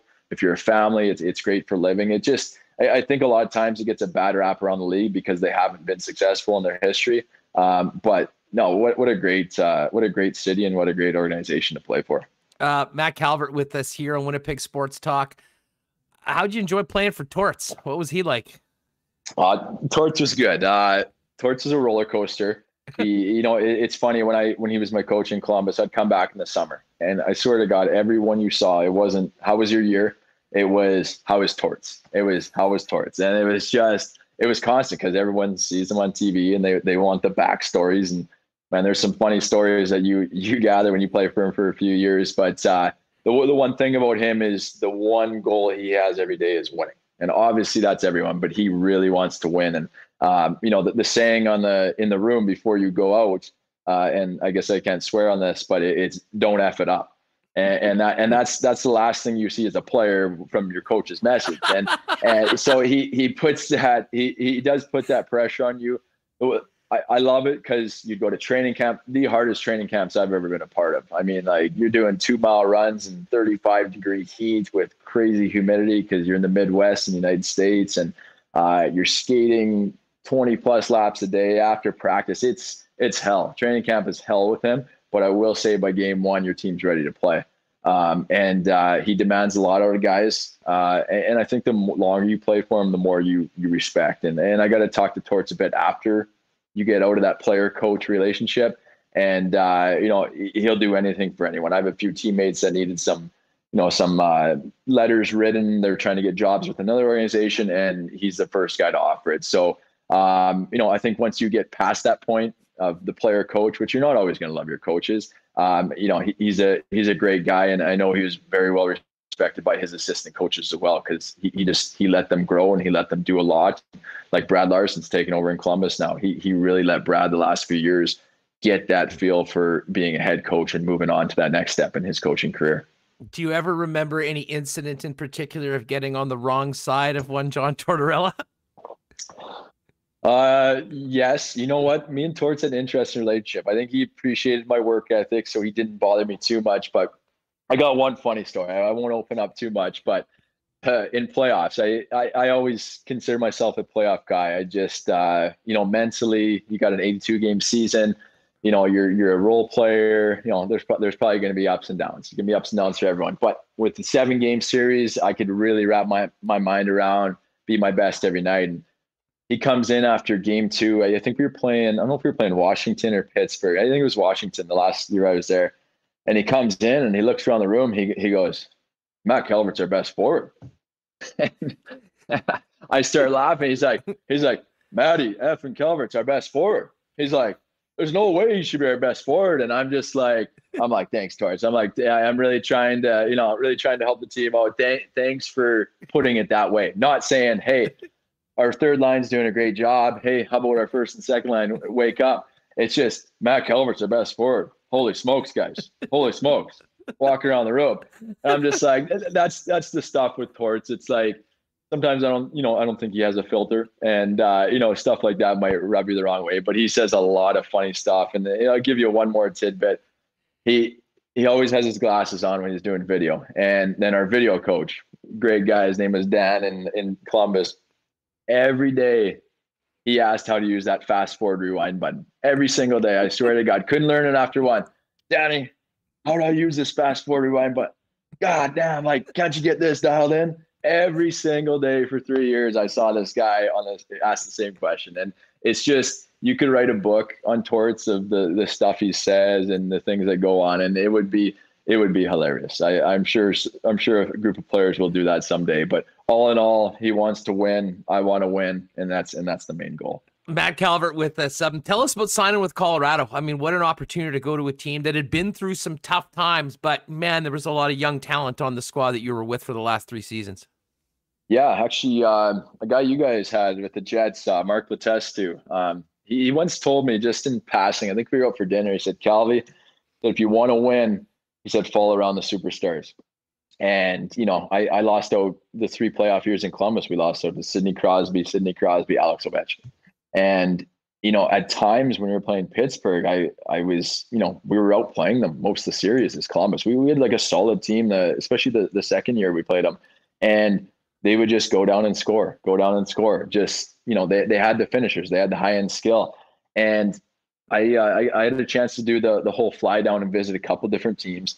And then the big thing that sold me one Denver is an awesome city, but the biggest thing was the management, which was Joe Sakic, um, great guy. Went out, went for dinner with him and his wife. Chris MacFarland, the assistant GM, he was he was one of the guys that drafted me in Columbus. Another awesome guy. And then Jared Bednar and uh, Nolan Pratt were the coaches at the time, uh, still are, um, but they were my coaches in the minor league. So a lot of familiarity. Um, but just the way these guys present themselves, it's uh, you know, you're a pro hockey player. You you should be expected to work your butt off in the summer, show up to camp ready to go, and have your best year every year. But these guys just had such a relaxed atmosphere. And then when I got to the team, you got the Nathan MacKinnons, the Gabriel Landeskog's, Mikko Rantanens, the now the Cale Makars. You you had the studs, but it worked out in such a way that the management was so relaxed and expected you to do your job and respected you, and then you have the Nathan MacKinnons in the room pushing you to be the best you can be as as a, a player leader. And and it just it, it, was just such a good mix, and it, it, was so exciting to play with those guys. I was I was 29 years old, I think my first year there, and by the end of the year, Nathan MacKinnon had me me wanting to become a better hockey player. A lot of times when you're 29, 30 years old, you're I, I don't want to use the word coasting because you you got to fight like hell to stay in this league, but you you almost you are who you are and you you know you accept that role for me it was like i want to get better i want to get better because i saw this guy every day and the things he did and and i was just like you know why can't I even move an inch closer to Nathan MacKinnon? Why can't I up my game too? And he pushed me to do that. And I ended up having my best year points wise as, as a 30 year old, my second year in, in Colorado. And um, just being around those high level guys, it's uh, it was probably one of my first times in my career, and it was just uh, it, it, rubs off on you. It was awesome. Well, and it's funny you bring up MacKinnon because there was a report last week of sort of just how driven he is. I mean, what was the story with the pizza in the locker room? He says he ordering the cauliflower crust for everybody. yeah, you know what? A lot a lot of that is true on like you know treating your body the best you can be. When I was in Columbus, we would have a practice and then we would go to catch a plane and we would go, you know, there was a group of us, usually me, Scott Hartnell, Cam Atkinson, Brad Dubinsky, Ryan Johansen when he was there. And we would go to eat and burger, couple beers, board the plane, you know, maybe, you know, maybe go at night, maybe not eat health, not think about nutrition. Um, some guys are blessed with good metabolism, some aren't. And I was one that was blessed with it. So I didn't have to worry about it. But I, I got to Colorado and we went to, a, I went to a fantasy football draft. I was just starting to get to know the guys everyone orders, they go turkey burger, no bun, and sweet potato fries. And here I'm sitting with a che- double cheeseburger and a couple beers in front of me. And I'm like, I'm like, you guys eat like this? And as I got to know Nate, and I got to know Nate real well, and the, the guy that released all this news is Nikita Zadorov, and it, I love Z's. He's a good guy, but he, he likes he likes the media and he likes to give stories. And and the thing with Nate is, uh, man, like like I said before, that guy wants to win bad and he he wants all his teammates. We, we were eating chickpea pasta. It was said in the reports. That's he had the whole team convert to chickpea pasta. I didn't even know what chickpea pasta was. I had no idea. Um, you know, he was all over me for you know what I was eating.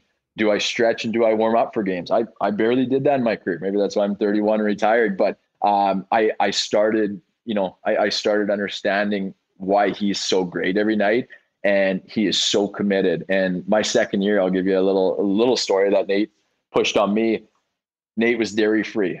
I never even thought of going dairy free in my life, like not not even a thought for me. And he said, try it out. So I actually committed to it for six weeks, probably the best six weeks of hockey I've ever played in the NHL regular season.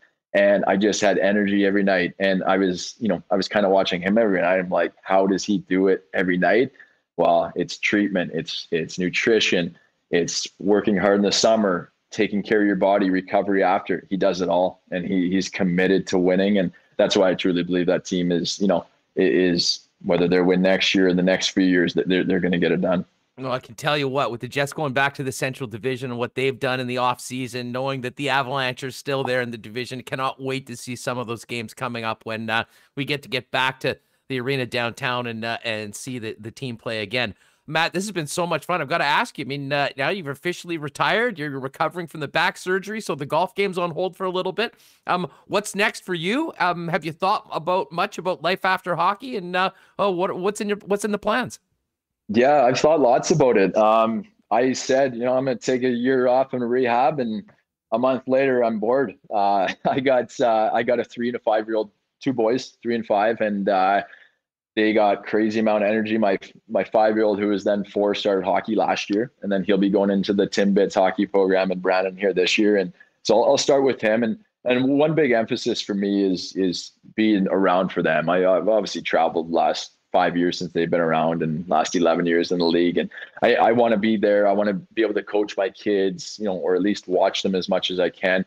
But I'll definitely be staying in the hockey world. I'm working on a few things right now, and hopefully be involved in hockey in Brandon um, whether it's Wheat Kings or with the under 18 program. Um, and then also, uh, I, I, might get into a little bit of consulting uh, with uh, my former financial company, Cardinal Capital Management, out of Winnipeg there, and just more as a recruiter, and uh, and then might team up with uh, an agency as well, and just try to help kids make right decisions when they're coming up. At I mean, they're recruiting them at like 13, 14, 15 years old now, which is crazy. Um, I definitely don't want to be that guy out at rinks and, and doing all that fun stuff, but um, but it's just so many parents are worried about, you know, what's the best route for for little Johnny? What what can we do? You know, should we have an agent now? Then and and I think it's good to have a guy that's been through it. Um, you know, and and I have a lot of connections of guys that you know have gone into the NHL and lost everything they've had. Um, guys that have been burnt by agents or or picked the wrong one and um, I think when you can talk to a former player about it, it just it it helps ease that decision for these parents because a lot of them. I'll, I'll tell you right now, when when I was 18 years old, I got an agent two months before the draft, Um, and I never had one before that. And my parents knew nothing about it because they weren't hockey people. So it's always good to have someone to talk to, you know, instead of just a bunch of agents coming or financial guys. Um, so yeah, I, I, would like to help out in, in, in that side of things and, uh, you know, just focus on rehabbing and, and work my way in and see what I want to do next. Well, I, I have to thank you for coming on. I mean, it, it's always been fun. I mean, you know, being a Winnipeg guy in this business, we've always paid close attention. You were kind enough to join us on uh, the old station a couple times. But I will tell you, now that you've got some time and you're kicking around in Brandon, uh, if you ever want to come on and talk hockey with us, we would love to do that once we get into the season. So um, this has just been so much fun. Everyone with us live here has been absolutely loving it, and uh, we wish you nothing but the best, Matt. We congratulate you on a great career, and uh, I hope we can do this again sometime once the season starts here on Winnipeg Sports Talk. You bet. Call me anytime. Maybe I'll drive in and uh, take in a game too. You just have to give me some tickets. done deal. Done deal. Um, hey, thanks so much for doing this. All the best. Uh, continued uh, success with the recovery. Have fun with the kids. And uh, again, congratulations on a great career. Made a lot of Manitobans proud, especially in your hometown of Brandon. Awesome. Thanks for having me on. Great stuff. There's Matt Calvert. What an awesome conversation that was. Um, he, uh, you know, we'd had Matt on a couple times during the course of his career, but and this is one of the reasons why I love this format so much. And again, if you're listening on the podcast, um, it, it the fact that we're doing this on YouTube the way we are and being able to see people, I mean, it, it's the closest thing to having the in-person interviews that we used to do, which you know, it was, it was just so much different than having someone in studio than just talking to them on the phone. And um, man, the energy Matt Calvert still has, the stories that he had, that was um, that was phenomenal. Thanks very much, and uh, Joe Caligiuri, his agent, who helped us set that up, and great work from Michael Remis to uh, to get that done. Um, we uh, we've got lots still to get to. Uh, we got CFL week two beginning tonight. And um, and it's funny a little bit later on we, we do want to bring in uh, Bernie Reichardt from Hockey Manitoba. Kind of funny that we had Matt Calvert on. last Bernie about uh, you know his impact on Hockey Manitoba, but things are getting going on uh, the hockey scene. So we'll find out what's going on with Hockey Manitoba a little bit later on. But coming off a lot of hockey talk so far, we do want to get into football. And our next guest is a good friend of our show, a former TSN 1290 intern that has somehow turned into one of the sharpest individuals when it comes to talking CFL football, picking lines, and having fun when we're getting to uh, the bets. And just before we do that, uh, we've got the line up right now for at Coolbet for the uh, Calgary BC game tonight. I believe we're still at seven. Yeah, seven points. I think it opened at six and a half. Uh, still waiting. We probably won't get the Bomber Argo line officially until tomorrow. Uh, Elks Alouettes, Ticats Rough Riders. But any of you that jumped on the Lock Shop boosted odds partner parlay, we are in business, folks. The Brewers put up seven in the first inning. They cruised. It was 10 nothing. And then that fifth inning and our first five bet for the Jays came through last night. So we have got a plus 300 money line ticket on the Elks on the weekend. Uh, hedging's for gardeners. I don't think I'll go the other way. But let's talk about all the CFL action and uh, get some insight from Nik and his picks. Nik Kowalski joins us now on the program here on Winnipeg Sports Talk. Nik, what's up, pal? It's great to have you on the show. Nik, can you hear us? He cannot hear us, apparently. Hmm. That's an issue. Yeah, um, Hustler, nice seeing you again. Uh, I know it's been a little while. Yeah, yeah, I can hear you guys. Yeah. Okay, awesome, awesome. Well, welcome in. Uh, it, okay, perfect, perfect, man. Great to have you on the program. Um, hey, first off, before we even talk about the action, um, how fired up were you, as so many of us were, to finally have sports in general coming back, but seeing that full stadium last Thursday here in Winnipeg as uh, the CFL was back and the hometown Bombers kicked ass in uh, the uh, the first game in that Grey Cup rematch.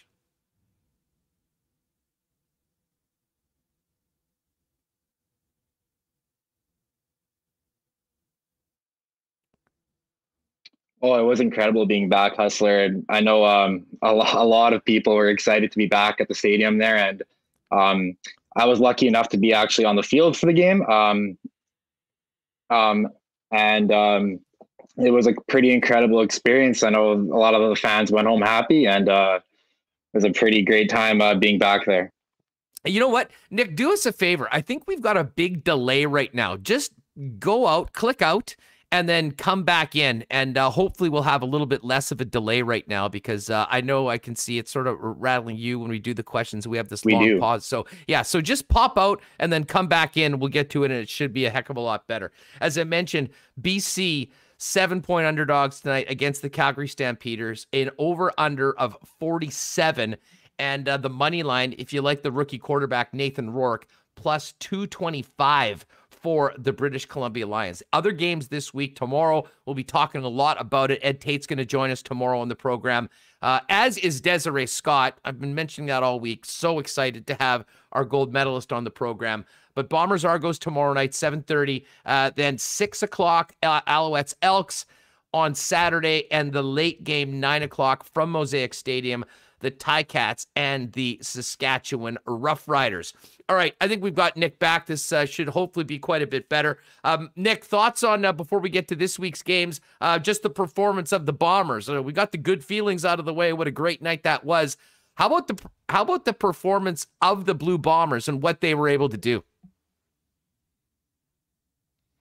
Oh, we just dropped out. Now we've got Bernie rolling in here too, man. Everything's happening at the same time here on Winnipeg Sports Talk. So we'll uh, hopefully we'll get Nik back in here in a second.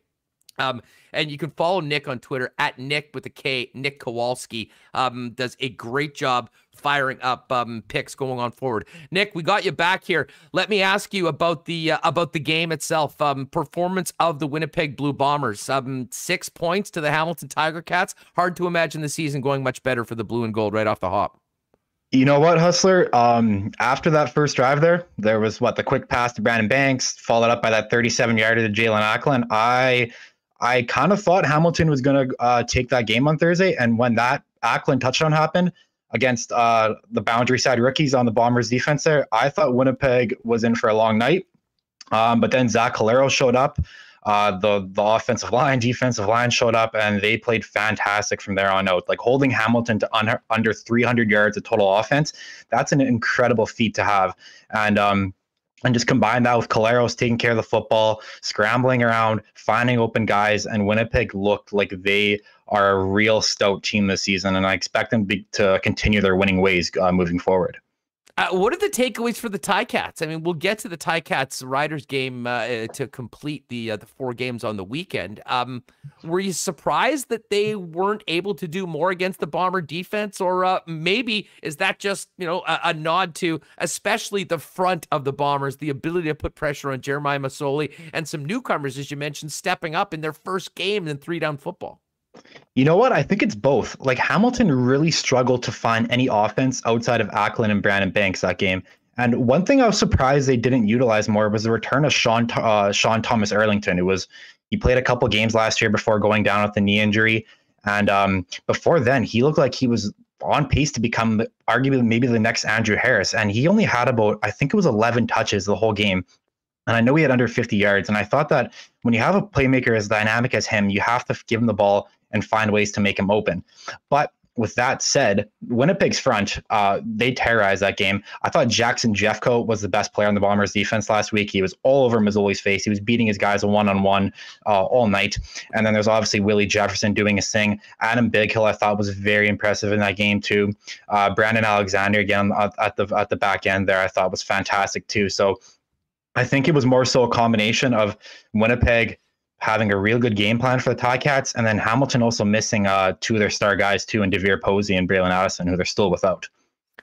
Yeah, so I mean, a great start for the Bombers. We joked that the TSN turning point of the game was the two point convert because it was lights out for the Ticat offense after that. But I'm very interested to see what we get from Hamilton coming up later on. Let's talk about this game tonight. Uh, BC rookie quarterback Nathan Rourke, who you know, got some experience the hard way. Probably don't want to go down 31 nothing to start off a game, but there he was at the end in the fourth quarter throwing a touchdown pass. Um, so BC, I mean, I don't really know what we can take out of that game. It was so bizarre. Calgary, for their part, still looks like a work in progress, but unlike a lot of people, I'm not out on the stamps. I think their body of work, the fact that they've been winning a winning team in the CFL since 2007, bodes well for their ability to turn around, especially with Bo Levi Mitchell. Uh, this game looks like it's a seven point spread right now. Uh, what do you think about tonight's opener to week two? I think the spread is pretty accurate, right? You have Nathan Rourke going into Calgary as a rookie quarterback. We still don't know exactly what BC's offense is going to look like, although I do like their supporting cast. I think you could argue they might have the best receiver group in the entire CFL. Um, I myself, I'm not too high on the Stampeders, but I do agree with you. Uh, they're compared to the New England Patriots uh, for a reason with their Bo Levi Mitchell and before John Hufnagel and now uh, Dave Dickenson at the helm. Um, they just find ways to win, right? But one thing I do like in this game is the under for the points. I do like, I really like BC's offense and combined, I mean, a BC's defense, sorry, and combined with Nathan Rourke starting for uh, BC and Calgary having a decent defense of their own. I, I, really think that the line I'm seeing right now is 48 and a half for the total. And right now I would lean under for that. And I think overall on props too. So if you like offense, um, unless I'm totally wrong here, I am leaning toward the under and I actually have a play on the under too. Well, and that's good. And I guess, you know, I mean, this goes to show, I mean, there's so much uncertainty with lines right now. We've kind of been talking about the staring contest from all the books, not wanting to lay a bad line right now. I'm seeing Coolbet is 47. So if you can get on 40 and a half somewhere, it's a pretty significant move um, when it comes to the under. Uh, as far as tomorrow's game, uh, we're looking and seeing, let's just assume that the line is six and a half. I've seen that at some other books. We'll wait for the Coolbet line to come out probably tomorrow morning. Um, I'll be honest. I think I'm taking the Argos with the points. I mean, I still think the Bombers can win this game and will win this game. But man, was I impressed with what Toronto did. And, you know, you add in the injury to Josh Johnson and three rookies. I know they played great last year, uh, last week. Um, but McLeod Bethel Thompson's no joke. He's got some pretty impressive weapons there. I mean, to me, this is going to be a game, an entertaining game, and a game that I think will be decided in the fourth quarter. Where are you at? I agree. I agree. If I if I were to side on that point spread, I would, I would side with Toronto. Um, I do like Winnipeg to kind of squeak one out. That's with minimal confidence. Um, and my logic there is really until the champs are dethroned, why not go against them, right? Um, but with Toronto last week, I was kind of joking that on paper they have they, you could confuse their roster for an All Star team. They're that good, and they they obviously went on two two free agency runs where they signed player after player. And last week it was a lot of what's going to happen when all these players are put together on the field for the first time in two years.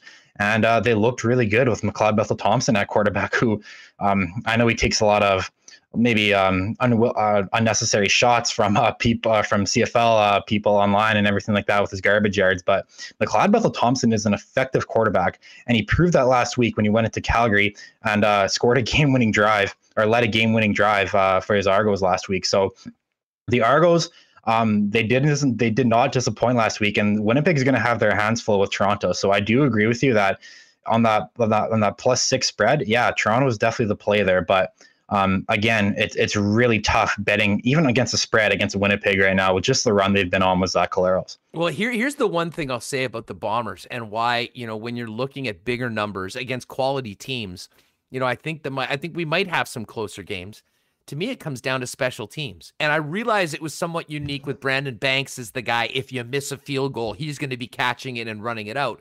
But it was very interesting to see Mike O'Shea's decision making and times. And maybe this was confidence in his defense and his team overall. I'm sure that is a part of it. But also, um, a, a, level of unsuredness compared to Mr. Automatic Medlock, where you could pretty much send him out and you knew you'd be putting up three on the board. That is going to be significant this year. And it, you know, it can, you know, in tight games, it can mean wins and losses. But when we're talking betting, um, you know, a missed field goal or a single instead of a three can easily turn an eight point win into a six. And if that number's in the middle, it could be significant. Hundred percent, yeah, and and I think it goes the same for the Argos too with Boris Bede, who who probably undoubtedly has the strongest leg in the CFL. But I was joking last week that Boris Bede is the kicker you sign in Madden because he has a 99 power, but he has a 60 accuracy, and you're not just worried. It's a video game, so you're not worried about accuracy. But Boris Bede, he was booming those field goals last week. Um, but unfortunately, they some of them were nowhere near the goalpost. I think he missed about like a 30 yarder last week, um, which I believe was went right through the end zone. So um, I, Ryan Dinwiddie might have to make that decision of whether it's too risky to kick a field goal uh, because there's a risk of it being returned. But uh, um, with that said, with Bede, it could just go right to the end zone. So that's one point right there, right? no doubt about it. Yeah. Bede. Bede looks like he could fill in on the defensive line if a guy goes down. I mean, he's that big. He's an absolute monster. Um, Ed Tait's going to join us tomorrow. Well, I love talking to Ed. We'll have a full preview of the game, talk about the bomber side of things, as well as what we expect from the Argos on tomorrow's show. We get into the uh, doubleheader on Saturday. Alouettes at Elks. Haven't seen the Alouettes yet, and the Elks somehow lost at home to a team with 70 yards passing and 100 yards of offense.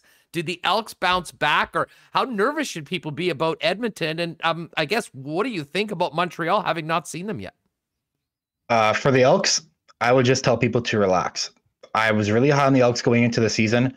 I really like the Elks still, despite that debacle last week where let's be honest, they gave away a football game to Ottawa. They had Edmonton had no business uh, losing that game, or and vice versa with Ottawa winning. So, I my favorite value this week, or my best bet this week, would actually be the Elk spread. I think that minus three is pretty low.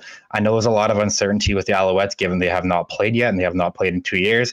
But Trevor Harris also has a history of just dissecting the Montreal Alouettes back to his Ottawa days uh, back to the East semifinal last year, where they put up, I want to say, 37 points on Montreal. And Montreal hasn't made too many improvements on defense. They did grab a bunch of former uh, Edmonton Elks players, actually. They got Almondo Sewell and Nick Usher on the defensive line, and also a couple defensive backs. But with Trevor Harris, Derel Walker, James Wilder looked great last week. Uh, Greg Ellingson didn't do much, but you know you're probably not going to keep him quiet for two straight weeks.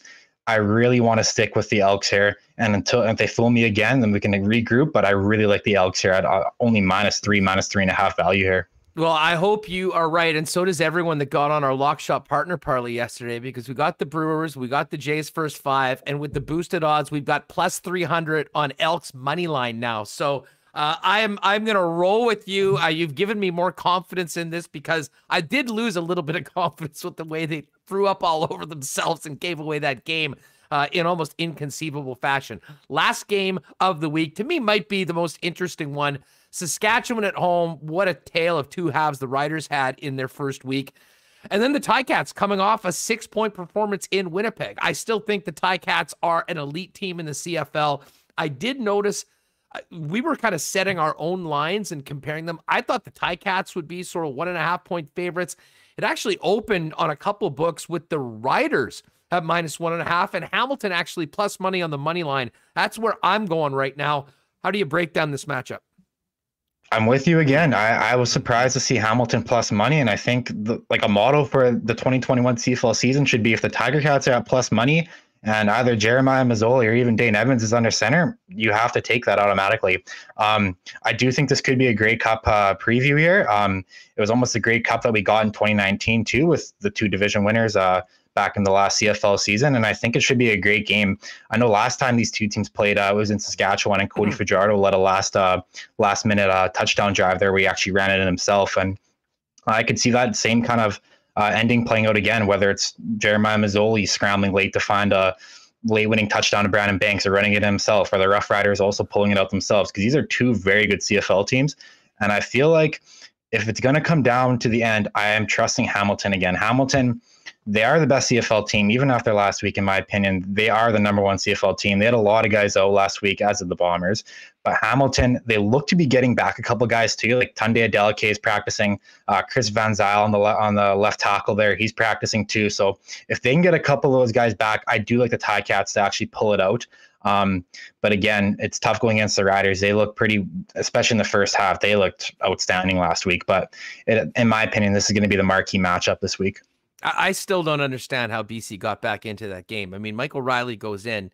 I, have never seen ducks thrown like that, and never mind a professional game in a D three game in high school games. You don't see threats, and yet they were being they were being caught.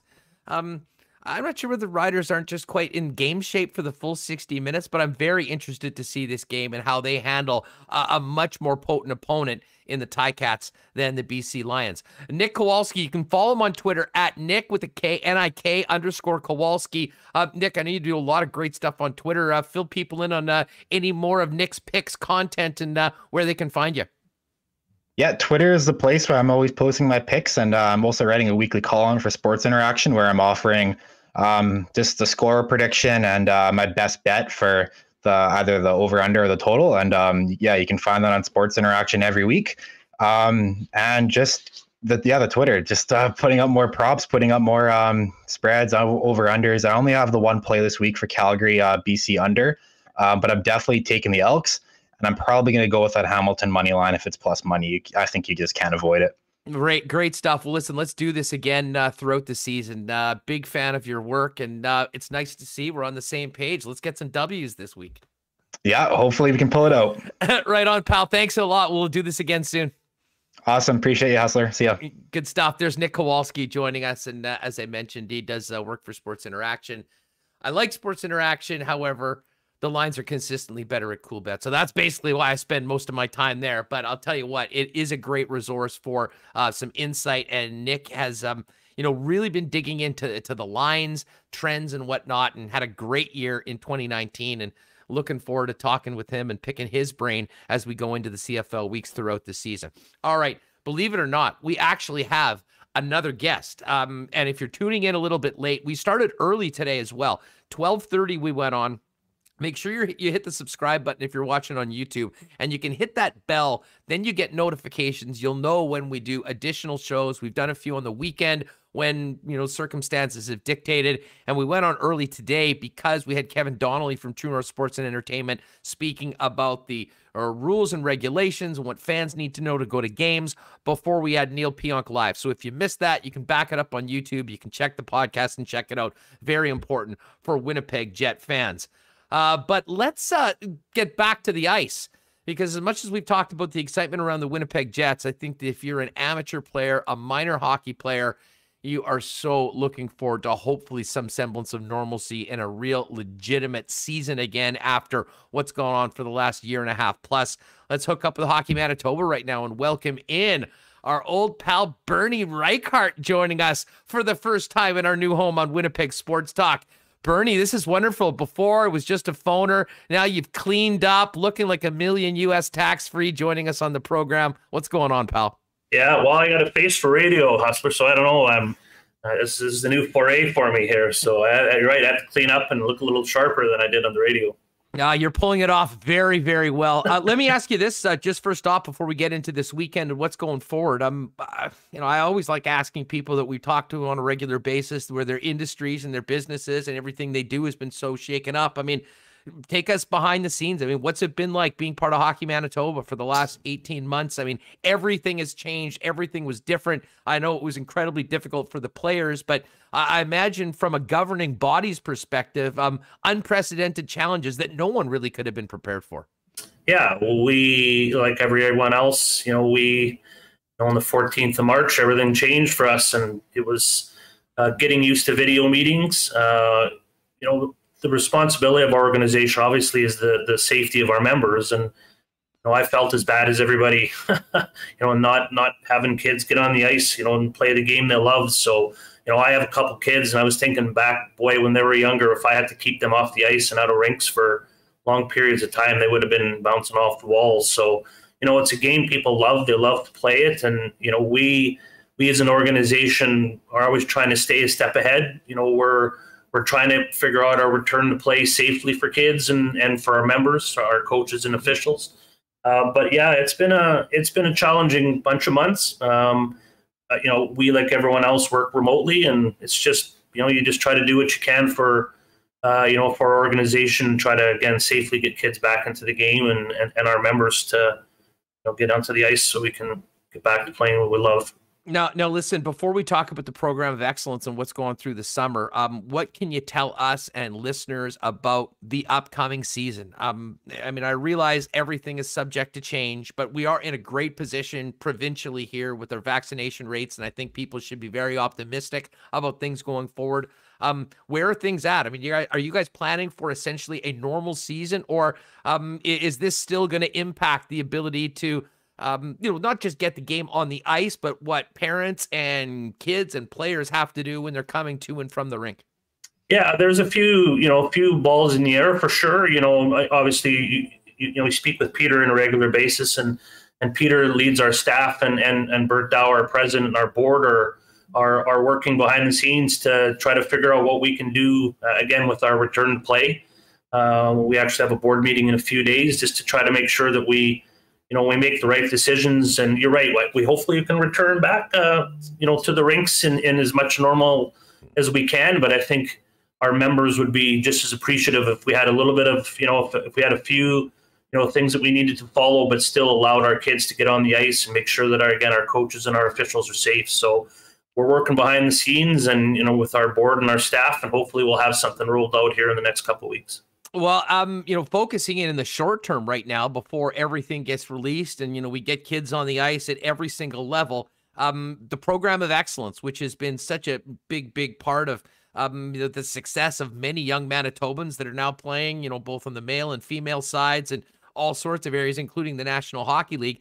Um, back on the ice, give us the status of the program of excellence, uh, you know, period, and uh, what's going on this weekend with the uh, with the uh, boys and the girls.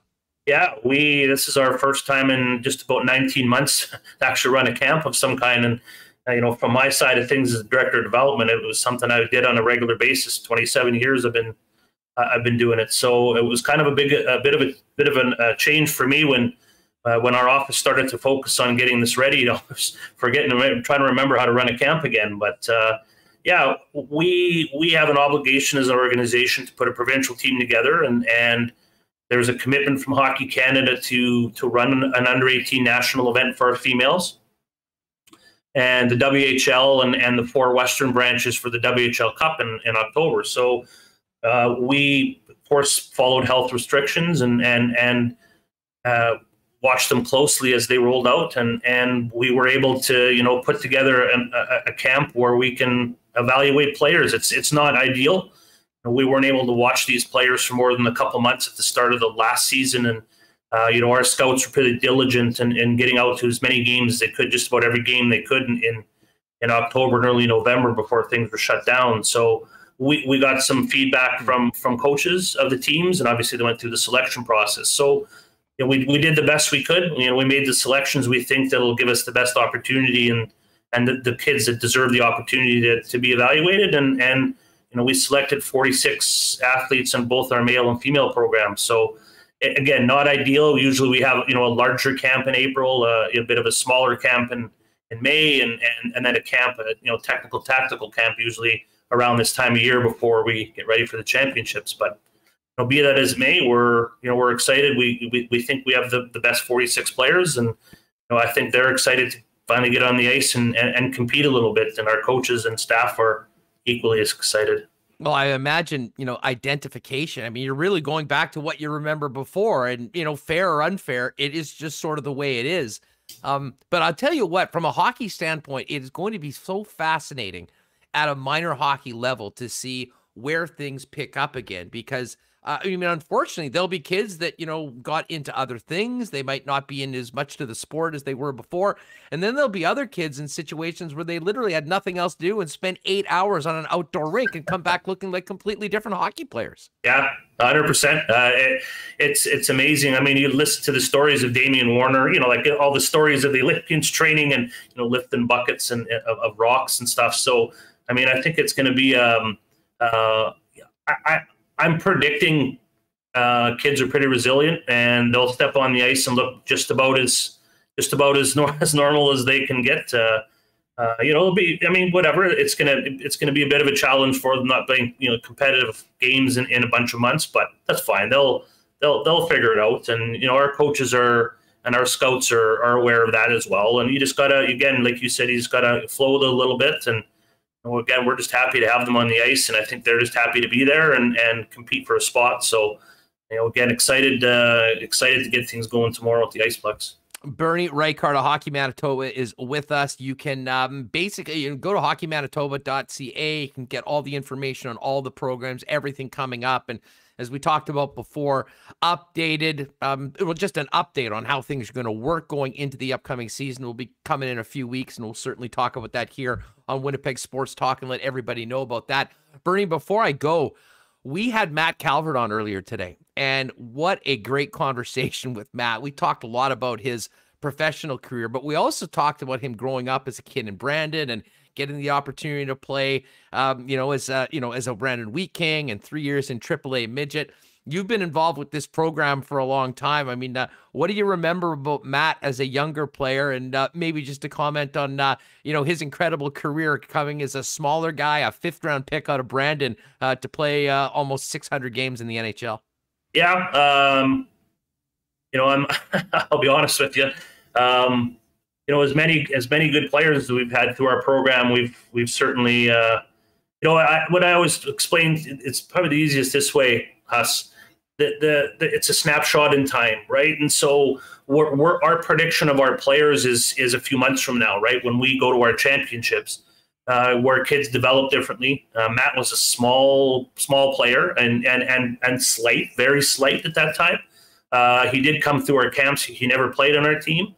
Uh, you know, neither did James Reimer, neither did I can go through the list. Darren Helm, I go through the list, and, and there are players that we didn't select, and and, and unfortunately, that's that's the way it is. We can't you know can't be right all the time, but you know we think we think we we pick the players again for that snapshot in time that where it's a few months where you know the the the, the scouts that watch these players are selecting uh, for both the male and the females how they're going to look in college hockey with females, how they're going to look you know in the Western League and the Manitoba Junior Hockey League, which is is a couple years away, right? They're not expecting these kids obviously to, to step into the lineups a couple months later, where we are you know, preparing a team for a couple months from now. So, you know, he was a good player. Um, you know, of course, I'm trying to get the cobwebs in my head here going, but uh, you know, skilled and but he was he was small and it was tough in traffic, and you know, he never end, end up making our team. But um, well, you know, in a way, in a way, Bernie, I mean, it, it's such a uh, it's a great story on for another level because for every kid that is, wow, we know that he's going to be great. And everyone's saying that they're going to be a first round pick when they're 12 years old and 13 years old. There are the Matt Calverts and the James Reimers. And I think it's important, especially with a situation like you have with all, you know, 46 kids going to the POE. I'm sure there's others that, you know, would like to be there, that think that they should be there. And it's important to note that, you know, you need to make the most of every opportunity you have that comes along the way. But just because you're not on the traveling team at 14 or make the team at 15, um, there's the Matt Calverts out there that show that with a lot of hard work and perseverance that anything's possible. Yeah, for sure. I, I can go through the list of Stanley Cup winners and, and and players. Yeah, they just develop at different ages, and that's you know we try to say that you know when you when they talk about like the Western League draft, for instance.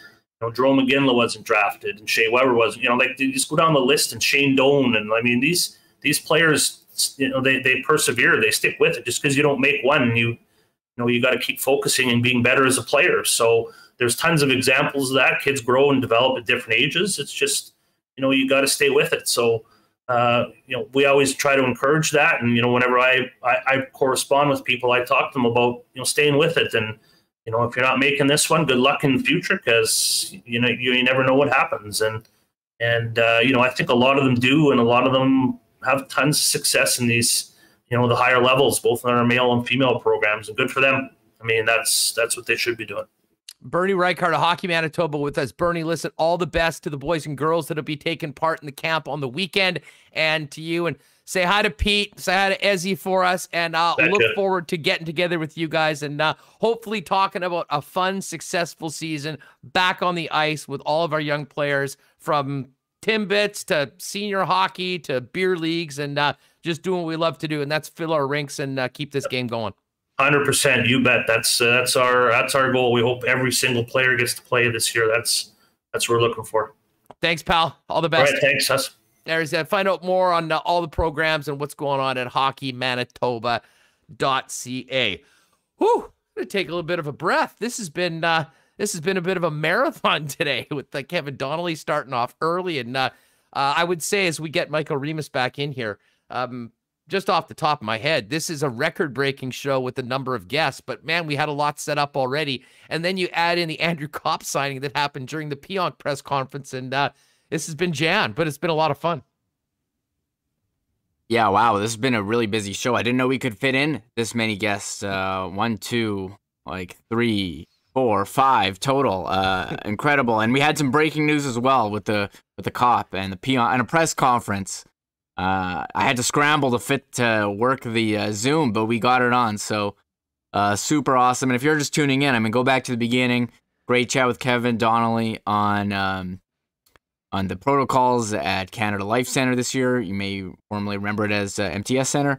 And uh, Matt Calvert, uh, Dude, brought- how good was he?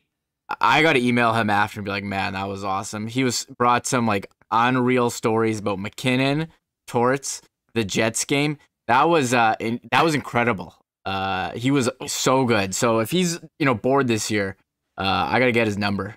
No, no, no, a hundred percent. He Yeah. is back. I made a point of saying that, hey, uh, you know, Matt, if you're uh, spending some time recovering, we'd love to talk because you know, once we get into the season, Mhm. for a guy with that sort of in- insight that's just been in the league for ten Yes. years, I don't think we could have a better guy to talk to. And he was just so personable and fun. And and, as I said, this format, being able to see people, it's kind of Mhm. like being in the studio.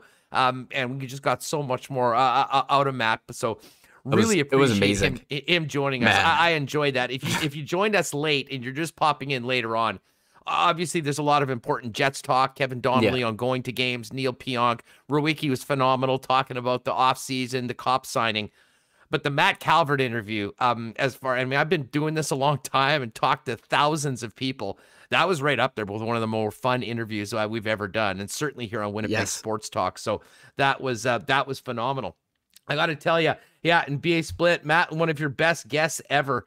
Uh, no, for sure. So uh, I, I will pledge to the WST listeners that we will do our best to get Matt back on at some point and hopefully maybe do something on the reg with him throughout the year. If he's back in Brandon with his kids getting ready to play Timbit hockey, and I imagine he'll be watching a lot of hockey. So that was just a, a, heck of a lot of fun. Um, all right, as we mentioned, we did do our Coolbet lines a little bit earlier. Shout out to everyone that got on the lock shop parlay. We need the Elks just to win the game to go three straight in the boosted odds. We're never getting as good a line as I mentioned on the show. I, I think the odds makers screwed up a little bit, to be honest, and uh, juiced it up a little too much. But hey, we will take it. Coolbet.com. If you haven't bet a Coolbet, you can go there, use the promo code WST. You'll get a 100% promo up to $200 on your first deposit. All right, Remo, there's a couple things that we need to discuss before Do you we have to? up. Yeah, you have a hard out at three? Uh, no, no. I mean, I've been, yeah, by the way, uh, yeah, I know Jeff Kabilas, I think, or Eric said Huss is going to be getting into the 1919s afterwards. I will not be getting into the 1919 uh, 19s afterwards. Maybe tonight, uh, because I'm going to be going straight over and doing another, I don't know, three or four hours on Sportsnet 960 in Calgary. So if you aren't sick of listening to me talk yet, if you've been with us on YouTube, uh, you can hit up online. But uh, yeah, if I'm there a little bit, they know that I probably won't be there right at the top of the hour but I do want to get to a couple of the topics that you have in the show plan that are maybe not necessarily sports related. And can we talk about this house? This house that was being moved on Roblin last week. And I have a number of friends in Charleswood, and I bug them all the time about the fact that their streets aren't paved and you know, give them a bit of brain damage that they never cross Route 90 and they live out in their own town of Charleswood. But what happened last weekend, and I believe it was Rick Ralph was the first one that kind of pointed this out to me as Rick's out there. Um, this house that got stuck being moved in the middle of the night, and these idiots that were doing it going and cutting down 17 trees on the median that outraged everybody.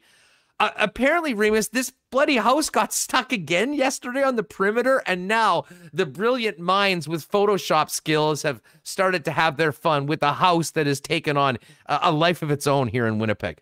Yeah, uh, I'm gonna be honest. It's pretty sick um, that they just went and cut down uh, that many trees. It's Um, one of the stupidest things I've ever heard. I mean, it's absolutely outrageous, to be honest. Yeah, and it really um, disappointing that someone would have that much uh, disregard for the beautiful tree canopy of Charleswood. But uh, then there, here it was again yesterday. This house, it's not going away. Going down, what is that? The perimeter, like trying to hit a sign there. Like, did no one measure this house? Like hanging over the median. Like, how stupid? how stupid are these guys? Us. Like, Well, how? the company, and I can't remember the company's name, but very quickly they, They- scrubbed themselves off social media and being able to be contacted on Wednesday because I think about 80% of Charleswood was on the warpath trying to get a hold of these bozos that did that. Um, and apparently they, they got the clearance, the, the permit, but part of that was ensuring that there was enough room to bring the object that they were bringing through, which obviously didn't happen. For it to happen again yesterday, I mean, I don't know whether somebody else took over the operation, But as Mike McIntyre said, I mean, you know what we need? We just need a damn camera on this house, like an update on the house. It's taken a life of its own. Um, but do you have any of the other the other Yeah. Photoshop So, uh, bits? Uh, again, you if you're on the podcast, this won't be as funny. Uh, but you can always go to the YouTube to check it out. The Photoshop guys are going off and um, doing some incredible work. So this is from uh, Reddit, like r slash Winnipeg. It's you don't know, Reddit is basically a glorified message board, but every single post is just taking this house and photoshopping it. So uh, here one sec. Here they are. Here's the house uh, on Portage. Try to get the underpass there.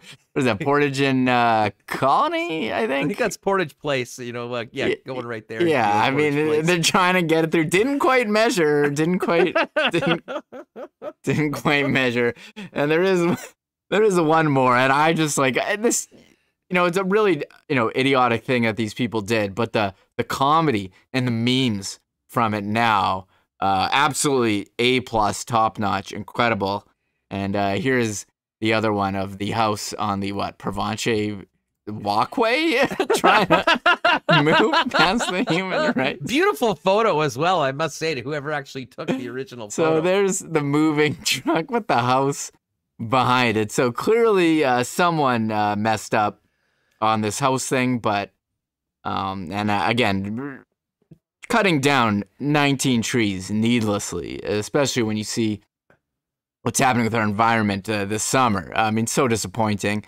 Um, but the photoshops, ooh, does it Yeah, make it- it, worth it? Probably not. But um, Probably not. Certainly not to the people of Charleswood, but we're all getting a few laugh from this. If you've got any more, you're good Photoshop, hit us up. Well, uh, we could have this bit go on for a while, as I think the house is still in the wild and not as to where. I still want to know where this damn house is going to go. And at one point, when it actually gets down, will it be the house that is vilified by everybody else in the neighborhood because of the lost Yeah. trees?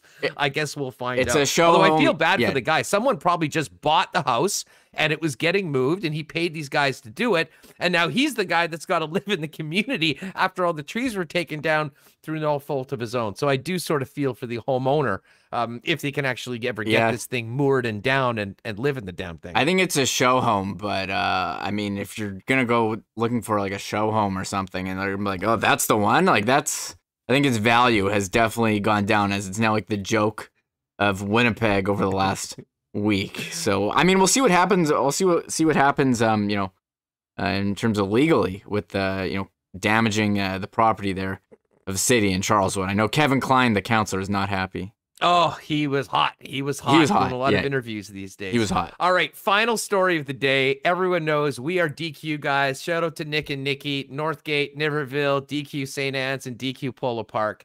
And, and I don't think it's news to the WST crew about the greatness of the DQ ice cream cake, but the demand for a DQ cake in Saskatchewan has led to a very interesting situation. Yesterday, you might have been wondering why DQ was trending uh, across the country. Uh, it wasn't because people were fired up about the drumstick blizzard or anything like that. No, it was. Uh, here's a report from the CP.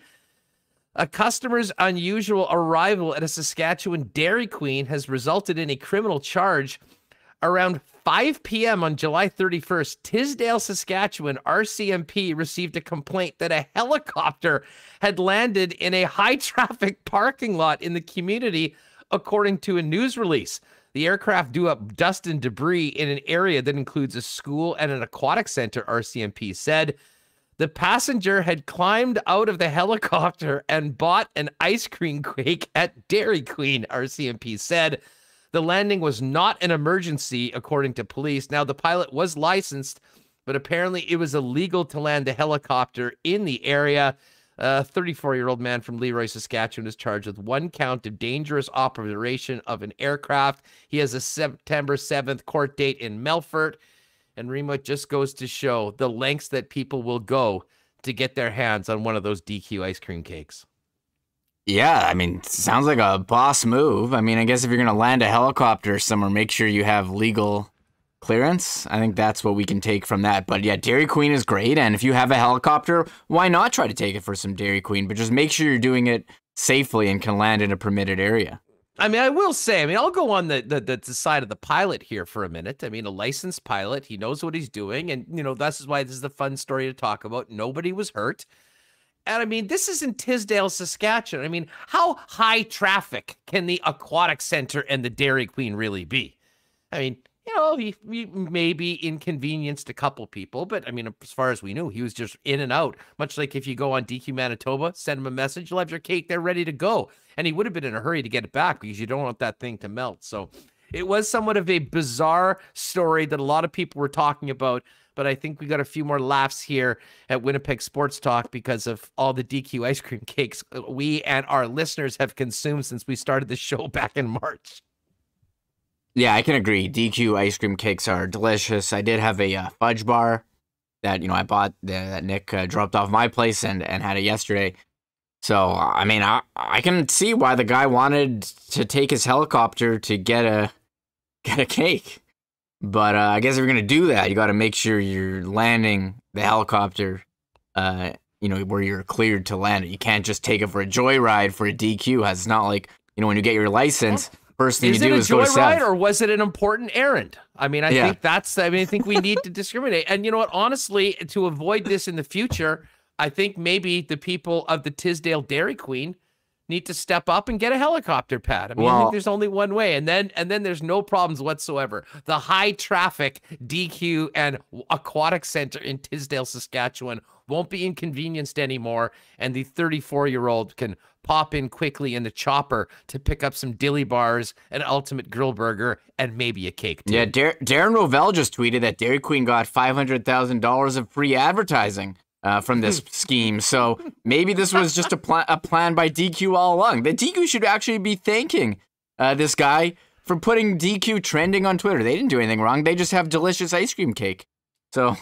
Uh, I, think that the marketing people of Dairy Queen are way ahead of the uh, uh, of the curve as well. Needless to say, Yeah. first people in with us here on Winnipeg Sports Talk, and now doing uh, what they're doing uh, around the province, and even with choppers showing up to get those amazing DQ cakes. Um, hey, quickly before we go, uh, big win for the Blue Jays last night. We sort of talked about it more in lines with the Coolbet and the partner parlay. Very happy about that. Alek Manoah, absolutely phenomenal last night. The only blip on the record was a two-run monster shot to center field by guess who, Shohei Ohtani. Uh, but a big win for the Blue Jays. They've taken two of three against the Angels, continue their strong play. Um, and as much as we'll be paying attention to the Jays tonight, Remo, I think what will really be interesting to see, and I still have a hard time envisioning what it's going to look like New York Yankees, Chicago White Sox in the field of dreams out in Iowa. This essentially is sort of, I think, the new stadium series, but for Major League Baseball in the cornfield. Yeah, they've done a couple of these where they did that one in the army thing. I'm trying to get some uh, some pictures here for the MLB Field of Dreams, but yeah, it is kind of like the thing. And I saw one tweet, someone tweeted, you know, have uh, have Major League Baseball, sorry, not Major League Baseball, NHL play a game in Alaska, like the movie Mystery Alaska, if you want to make a game based on a movie. But I, I think MLB tweeted out some pictures. Let me, uh, I can pull them up if you want to see what this thing looks like. Sucks for the people on podcast, but that just means, hey, come on over to come on over on YouTube and give us a sub, right? So uh, yeah, for sure. By the way, we've got still a lot of people in the room. If you're with us right now, do us a favor, hit the thumbs up button. Certainly helps us share the channel. As I mentioned for podcast folks, anytime you can rate and review on Apple Podcasts, it's a big help. And here's the ballpark. Iowa, the cornfield. I- I'm very interested to see what happens on you know shots near the warning track. Like, is there a small fence that they can't go over? Or can they literally walk into the corn and come out with the ball? Um, I don't know. This is just gonna be really neat. I mean, God, there's 162 of these games throughout the regular season. Pretty cool to have, um, you know, one game with two big market teams, two good teams right in the mix, playing. Um, well, frankly, in the middle of nowhere. And I believe the capacity for this game, Remis, is is three or four thousand, if I'm not mistaken. Cool. And ticket prices to be able to get into this game on the secondary market absolutely astronomical because of the scarcity of the ticket. Yeah, I mean that's uh I mean pretty cool. Some good marketing for them. It's definitely uh going viral. Here's um just going through MLB's Twitter. We got Lucas Giolito in like the old school White Sox jersey on a tractor, uh getting the field ready.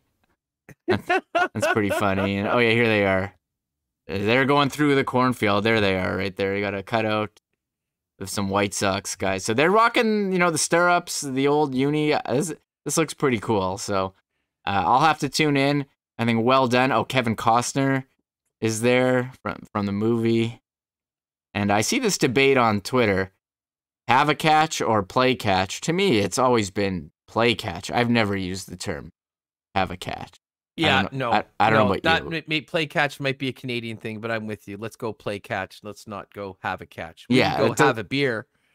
We wouldn't Right. go play. Well, anyways, we could go down this. It's one of those internet things that I try to stay out of, like that you don't need to waste your time arguing about, like the Ugh. hot dog is a sandwich or pineapple on pizza. Like we don't need God, to. dude, that's half my life right now, trying to stay out of things on the internet, and I've got I've gotten very good at it.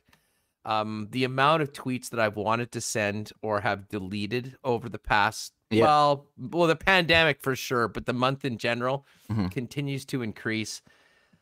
But overall, I'm happy that I'm happy that there's bad takes coming out regardless of everything because it basically indicates that the vast majority are probably having some good takes and the bottom line is we're moving forward. Yeah. So again, if you missed the interview with Kevin Donnelly and you are intending on going to a game this year at the um, newly renamed Canada Life Center downtown, home of the Jets and Moose, uh, we went on early at 12:30. That is the first half hour of the podcast. If you catch it afterwards, or if you're on YouTube, you just have to back it up. And don't forget, everyone, hit that bell. We will be going on at times early. We've done some bonus shows as well. And if you want to know that we're doing it and catch it live, just make sure you got that. You'll get your notifications. We certainly appreciate it, Yeah. folks. Hey, uh, sorry. Yeah, one thing, one thing. Sorry, um, I was gonna say just to add about that, us, and you're acting very well. I mean, just because you have a thought doesn't mean you need to tweet it out for the masses. No, and, no. And uh, and I know people were. I just wanted to weigh in on the bat, Jets backup goalie, and we can. And a lot of people talking about. People were like arguing the whole time about Comrie being the backup. It's like, look, he's the backup for now. He's a player. He fits under the salary cap. Doesn't you know? Give him a shot. If it doesn't work out, you can find a new backup pretty easily. You know, maybe someone gets hurt and you have more salary in the season. Yeah, and there'll be an um, Anton Forsberg on the waiver wire. yeah. There'll be a bunch of them. there'll be a bunch. that time, and if So- they don't feel confident, they'll go that way. Maybe Mikhail Berdin takes a spot, but um, yeah, uh, that that is well. As I said with Rewucki, I mean, it is. You want to talk about first world problems? I mean, considering where this team was coming out of that series against Montreal, the work that Kevin Cheveldayoff has done, adding Yes. to the blue line, signing the RFAs. Um, if the if wondering about an unproven backup goalie is your biggest problem going into the season, uh, you're probably the envy of most teams in and around the National Hockey League. So uh, it's been a great, great summer. The summer of Chevy got it done. And um, I'll tell you what, the Jets general manager deserves to have a couple cold 1919s and maybe even a couple days off before things get going with uh, an exciting training camp and preseason games at Canada Life Center with a full building, if it's full, but of vaccinated fans. So um, tell you what, I'm looking forward to it. Catch the interview with Kevin Donnelly if you want more information on that. Um, do want to thank all of our sponsors, Canadian Club. Don't forget tomorrow we will have a little I Love Rye giveaway at the end of the program. We'll do a marble race for everyone that's with us in on the YouTube. And next week we'll be doing a bigger contest for a very cool prize that we'll try and make sure we include this the podcast listeners as well. Um, and we'll probably utilize some social media platforms for that. Uh, but thanks to Canadian Club, Royal Sports. You can get your bomber gear before tomorrow's game against the Toronto Argos. Ed Tait's going to join us on the program. The Nick and Nikki DQ Group, Paramount Services Limited, Knott Autocorp, Boston Pizza, Little Brown Jug, Assiniboia Downs, Breezy Bend, and Coolbet. And don't forget, everybody, mandatory attendance for the WST crew tomorrow, right out of the gate. Rima and I will start the program, and our first guest tomorrow will be the Queen herself, Desiree Scott, Olympic gold medalist. She'll be celebrated at the Bomber game tomorrow night, and before that, she'll join us on Winnipeg Sports Talk. And after that, uh, the great Ed Tait's going to join us. We'll talk Bombers, we'll talk Argos, and get ready for tomorrow's game. Tonight, of course, it's BC, it's Calgary. Calgary's seven point favorites. I was hoping to get it at six and a half, but I am going to ride with Calgary. And uh, we'll get into tomorrow's game all over it, top to bottom, with Ed Tait and more here on Winnipeg Sports Talk Daily. So, uh, man, we've got a lot of thank yous. Uh, thank you to Kevin Donnelly. Thanks to Brandon Rewucki. Matt Calvert, phenomenal. If you missed that, make sure you watch it again. Nick's picks with Nik Kowalski was great and awesome to catch up with Bernie Reichardt from Hockey Manitoba again. All right, I'm going to take a deep breath and then jump on Sportsnet 960 in Calgary for a few hours. Join me in a little bit if you want to do that. Um, great job to Michael Remis making all of this work. Thanks to everyone that's been with us, especially the people that had the notifications on that joined us for the first half hour. If not, go back and check it out. Big show tomorrow. Oh, and by the way, for those of you that check out Rod Pedersen's show, they're here in Winnipeg tomorrow, and I'll be on with Rod live on the program at Guess Game Plus Network, 11 a.m um, doing the show from Canada Life Center. So if you want to check that out as well. Can't wait for tomorrow and welcoming Des Scott back to Winnipeg and on Winnipeg Sports Talk for the first time. Until then, folks, have a great night. Enjoy the Field of Dreams game. Week two kickoff of the Canadian Football League between the Lions and Stamps. And uh, have a great night. We'll see you tomorrow, 1 p.m. in the afternoon, live on YouTube, and later in the afternoon on your podcast feed on your home of sports in the PEG, Winnipeg Sports Talk. Have a great night, everybody. Oh my God! Oh! Shut it down! Oh, Let's go home! Thanks for tuning in to Winnipeg Sports Talk Daily. Make sure to subscribe on YouTube and your favorite podcast feed at winnipegsportstalk.com.